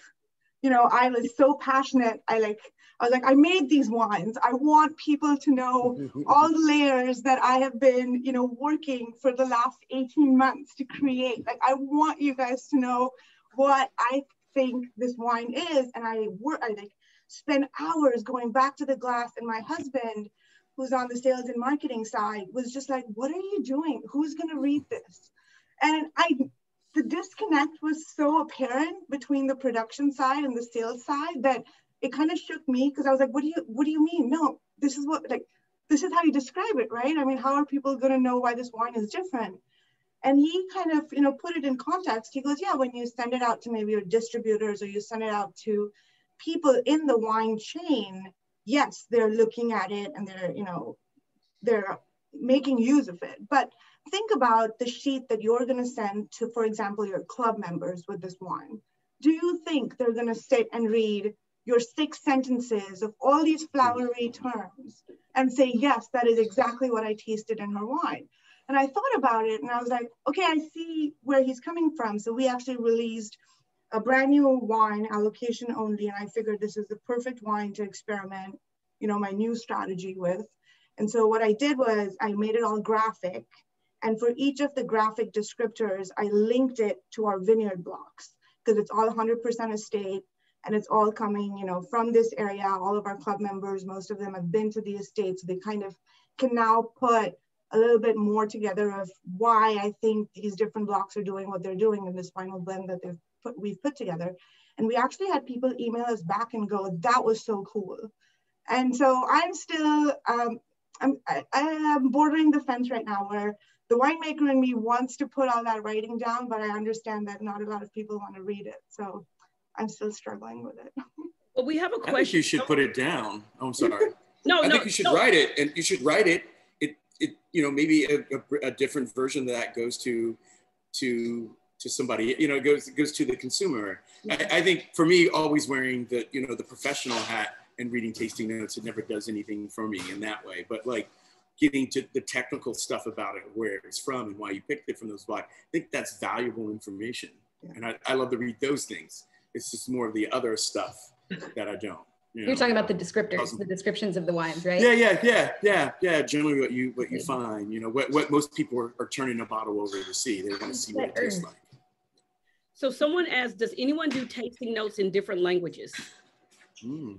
I mean, the thought of being able to think about our population we have in the US, we have like so many different languages, especially Spanish. And like, does, do you all do any tasting notes? I, I don't think I've ever saw a tasting note, a bilingual tasting note. No, but that's really just a like headbanger, you know, it's like, duh, we need those. we need them in Spanish. We do. I mean, because it's, it's something I just did until that question popped up. I had never even thought about it. Mm-hmm. Great question. Great question. But also, then if you're having it in Spanish and the part of the tasting note you have is a pairing, right? Most tasting notes has a little blurb about a pairing. Mm-hmm. Now, are you pairing the same dish, even though you would do that in a different language? If, if it's Spanish, would you still do the same traditional pairing notes?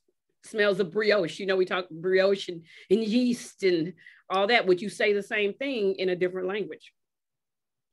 Culturally, if you're speaking of different cultures. I, would think- just change the I think- Yeah, I think you have to change the verbiage that you're using and forget brioche. Mhm. And Exactly. And I, I don't mean that I sound horrible, but um, it just, you got to find the language, the, the terms you can use that actually translate well.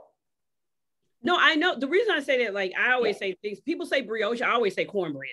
Like if I'm just like the majority of times I'm thinking cornbread, right? Most right. people have had cornbread. Most people know what that tastes like. Most people, some people know what brioche is. Most people don't. Mm-hmm.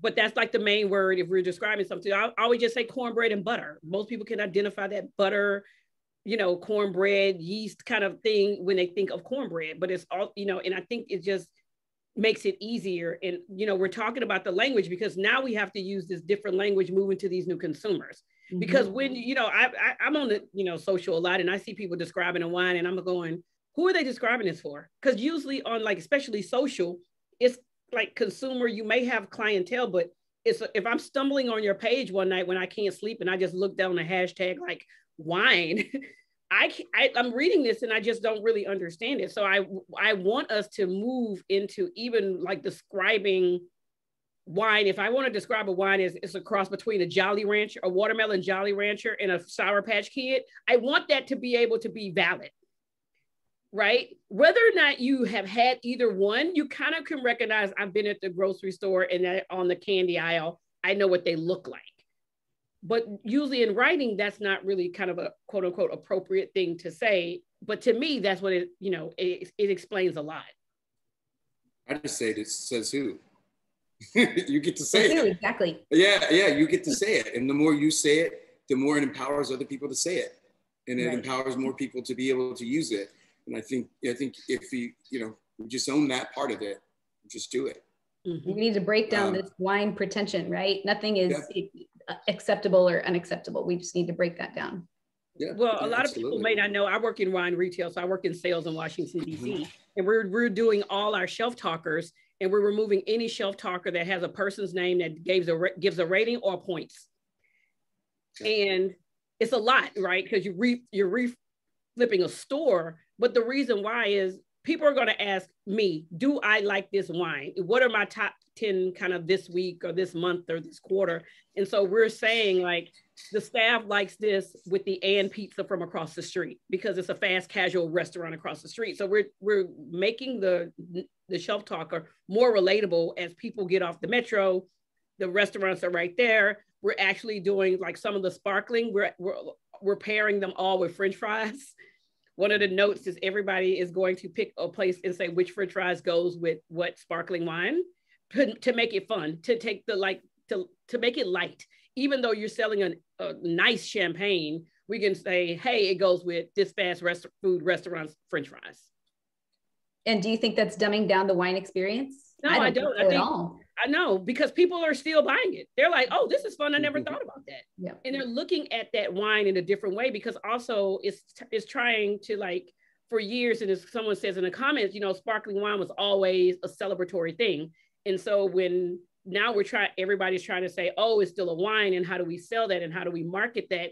And so it's looking at wine in different ways as people look at, I mean, I will say we we've all lived through a pandemic it's a celebratory day every time we can open a bottle of wine and be healthy. Mm-hmm. That is how I look like, no matter what that wine is. And so it's to be enjoyed. And so looking at that perspective is one of the things I want us as like the industry and as we're trying to move people into these programs, how do we bring the fun into wine? Because sometimes now it doesn't look fun.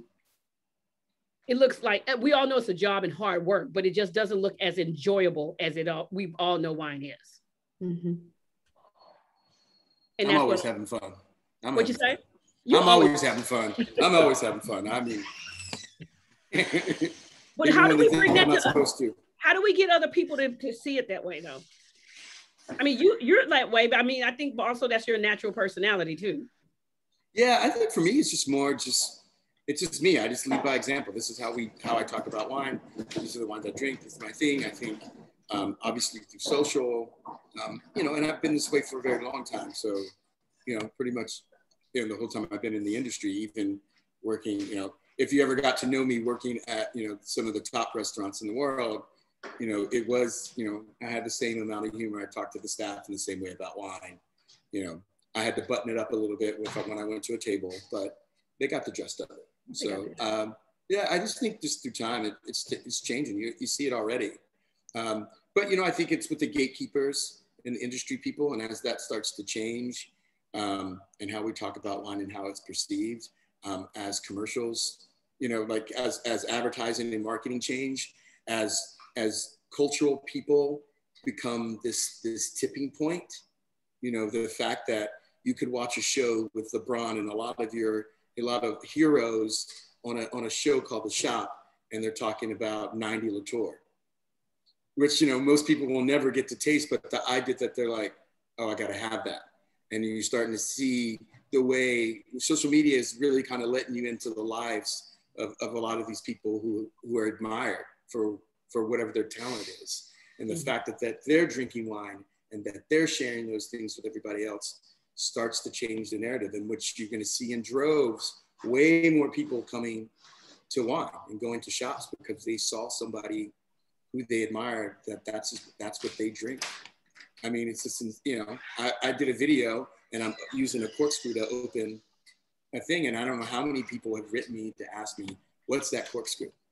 I want to buy that corkscrew. You know what I mean? And I'm just me. I'm just opening the thing. But like the idea that like you see, you know, LeBron, and you think of just like how magazines have changed. You know, on the cover you had two sports figures, two basketball players, Carmelo Anthony on one. You know, those are huge shifts. Um, you know that you that that you won't see right away, but that's a long tail. That you know all of those people are, are coming behind them at some point because wine has become this thing, and now they see people who look like them, and so I think you'll you'll we'll see it because then with with that comes becomes a different language, right? With that comes you know, different cultural things and how they interact with wine that could become part of a wine thing. You know what I mean? Culturally. So I, I, I think it's interesting, but we're really just at the beginning of it. You know, I, I didn't get to see all of your data, John, and, and I do apologize to everybody in the panel. There was a bus that ran into a building right over here. And I was just like, what is happening? And, then my assistant's on. I'm gonna blame it on mm-hmm. Kevin. He, he's, he's on vacation and I, he didn't set up an alarm. But anyways, there was something happening, but I didn't get to see your data, but it just tells you that, you know, there's going to be a big shift and you're starting to see a lot of the, the groundwork now. If I had to put on my Malcolm Gladwell hat and talk about the tipping point here.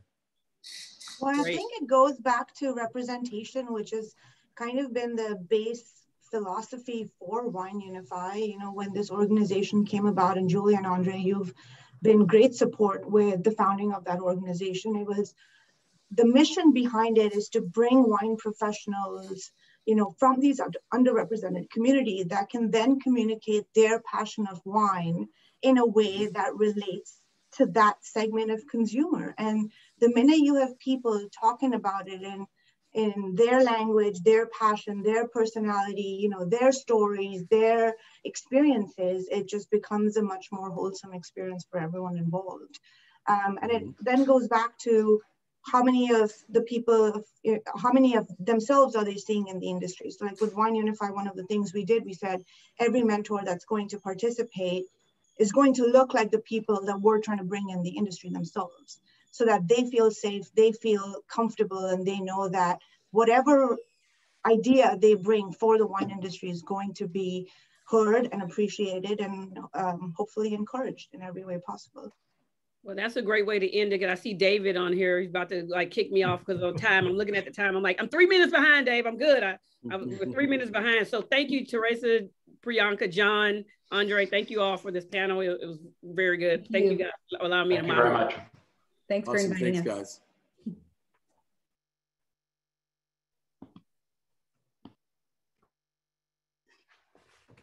Well, I'd just like to uh,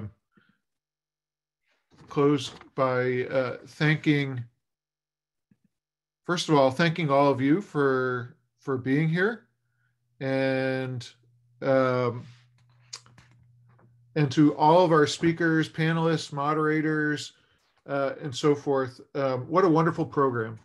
Um, I'd really like to send out a special thank you to Karen Block and Caroline Furman, who really organized this whole event along with the organizing committee, but they did a huge amount behind the scenes to make sure all of this took place and ran smoothly today. And they did a wonderful job. So thank you to them. Um, I hope this program has given everybody a lot to think about. I know it's given me a lot to think about. I have notes written all over my pages in front of me, all kinds of new ideas.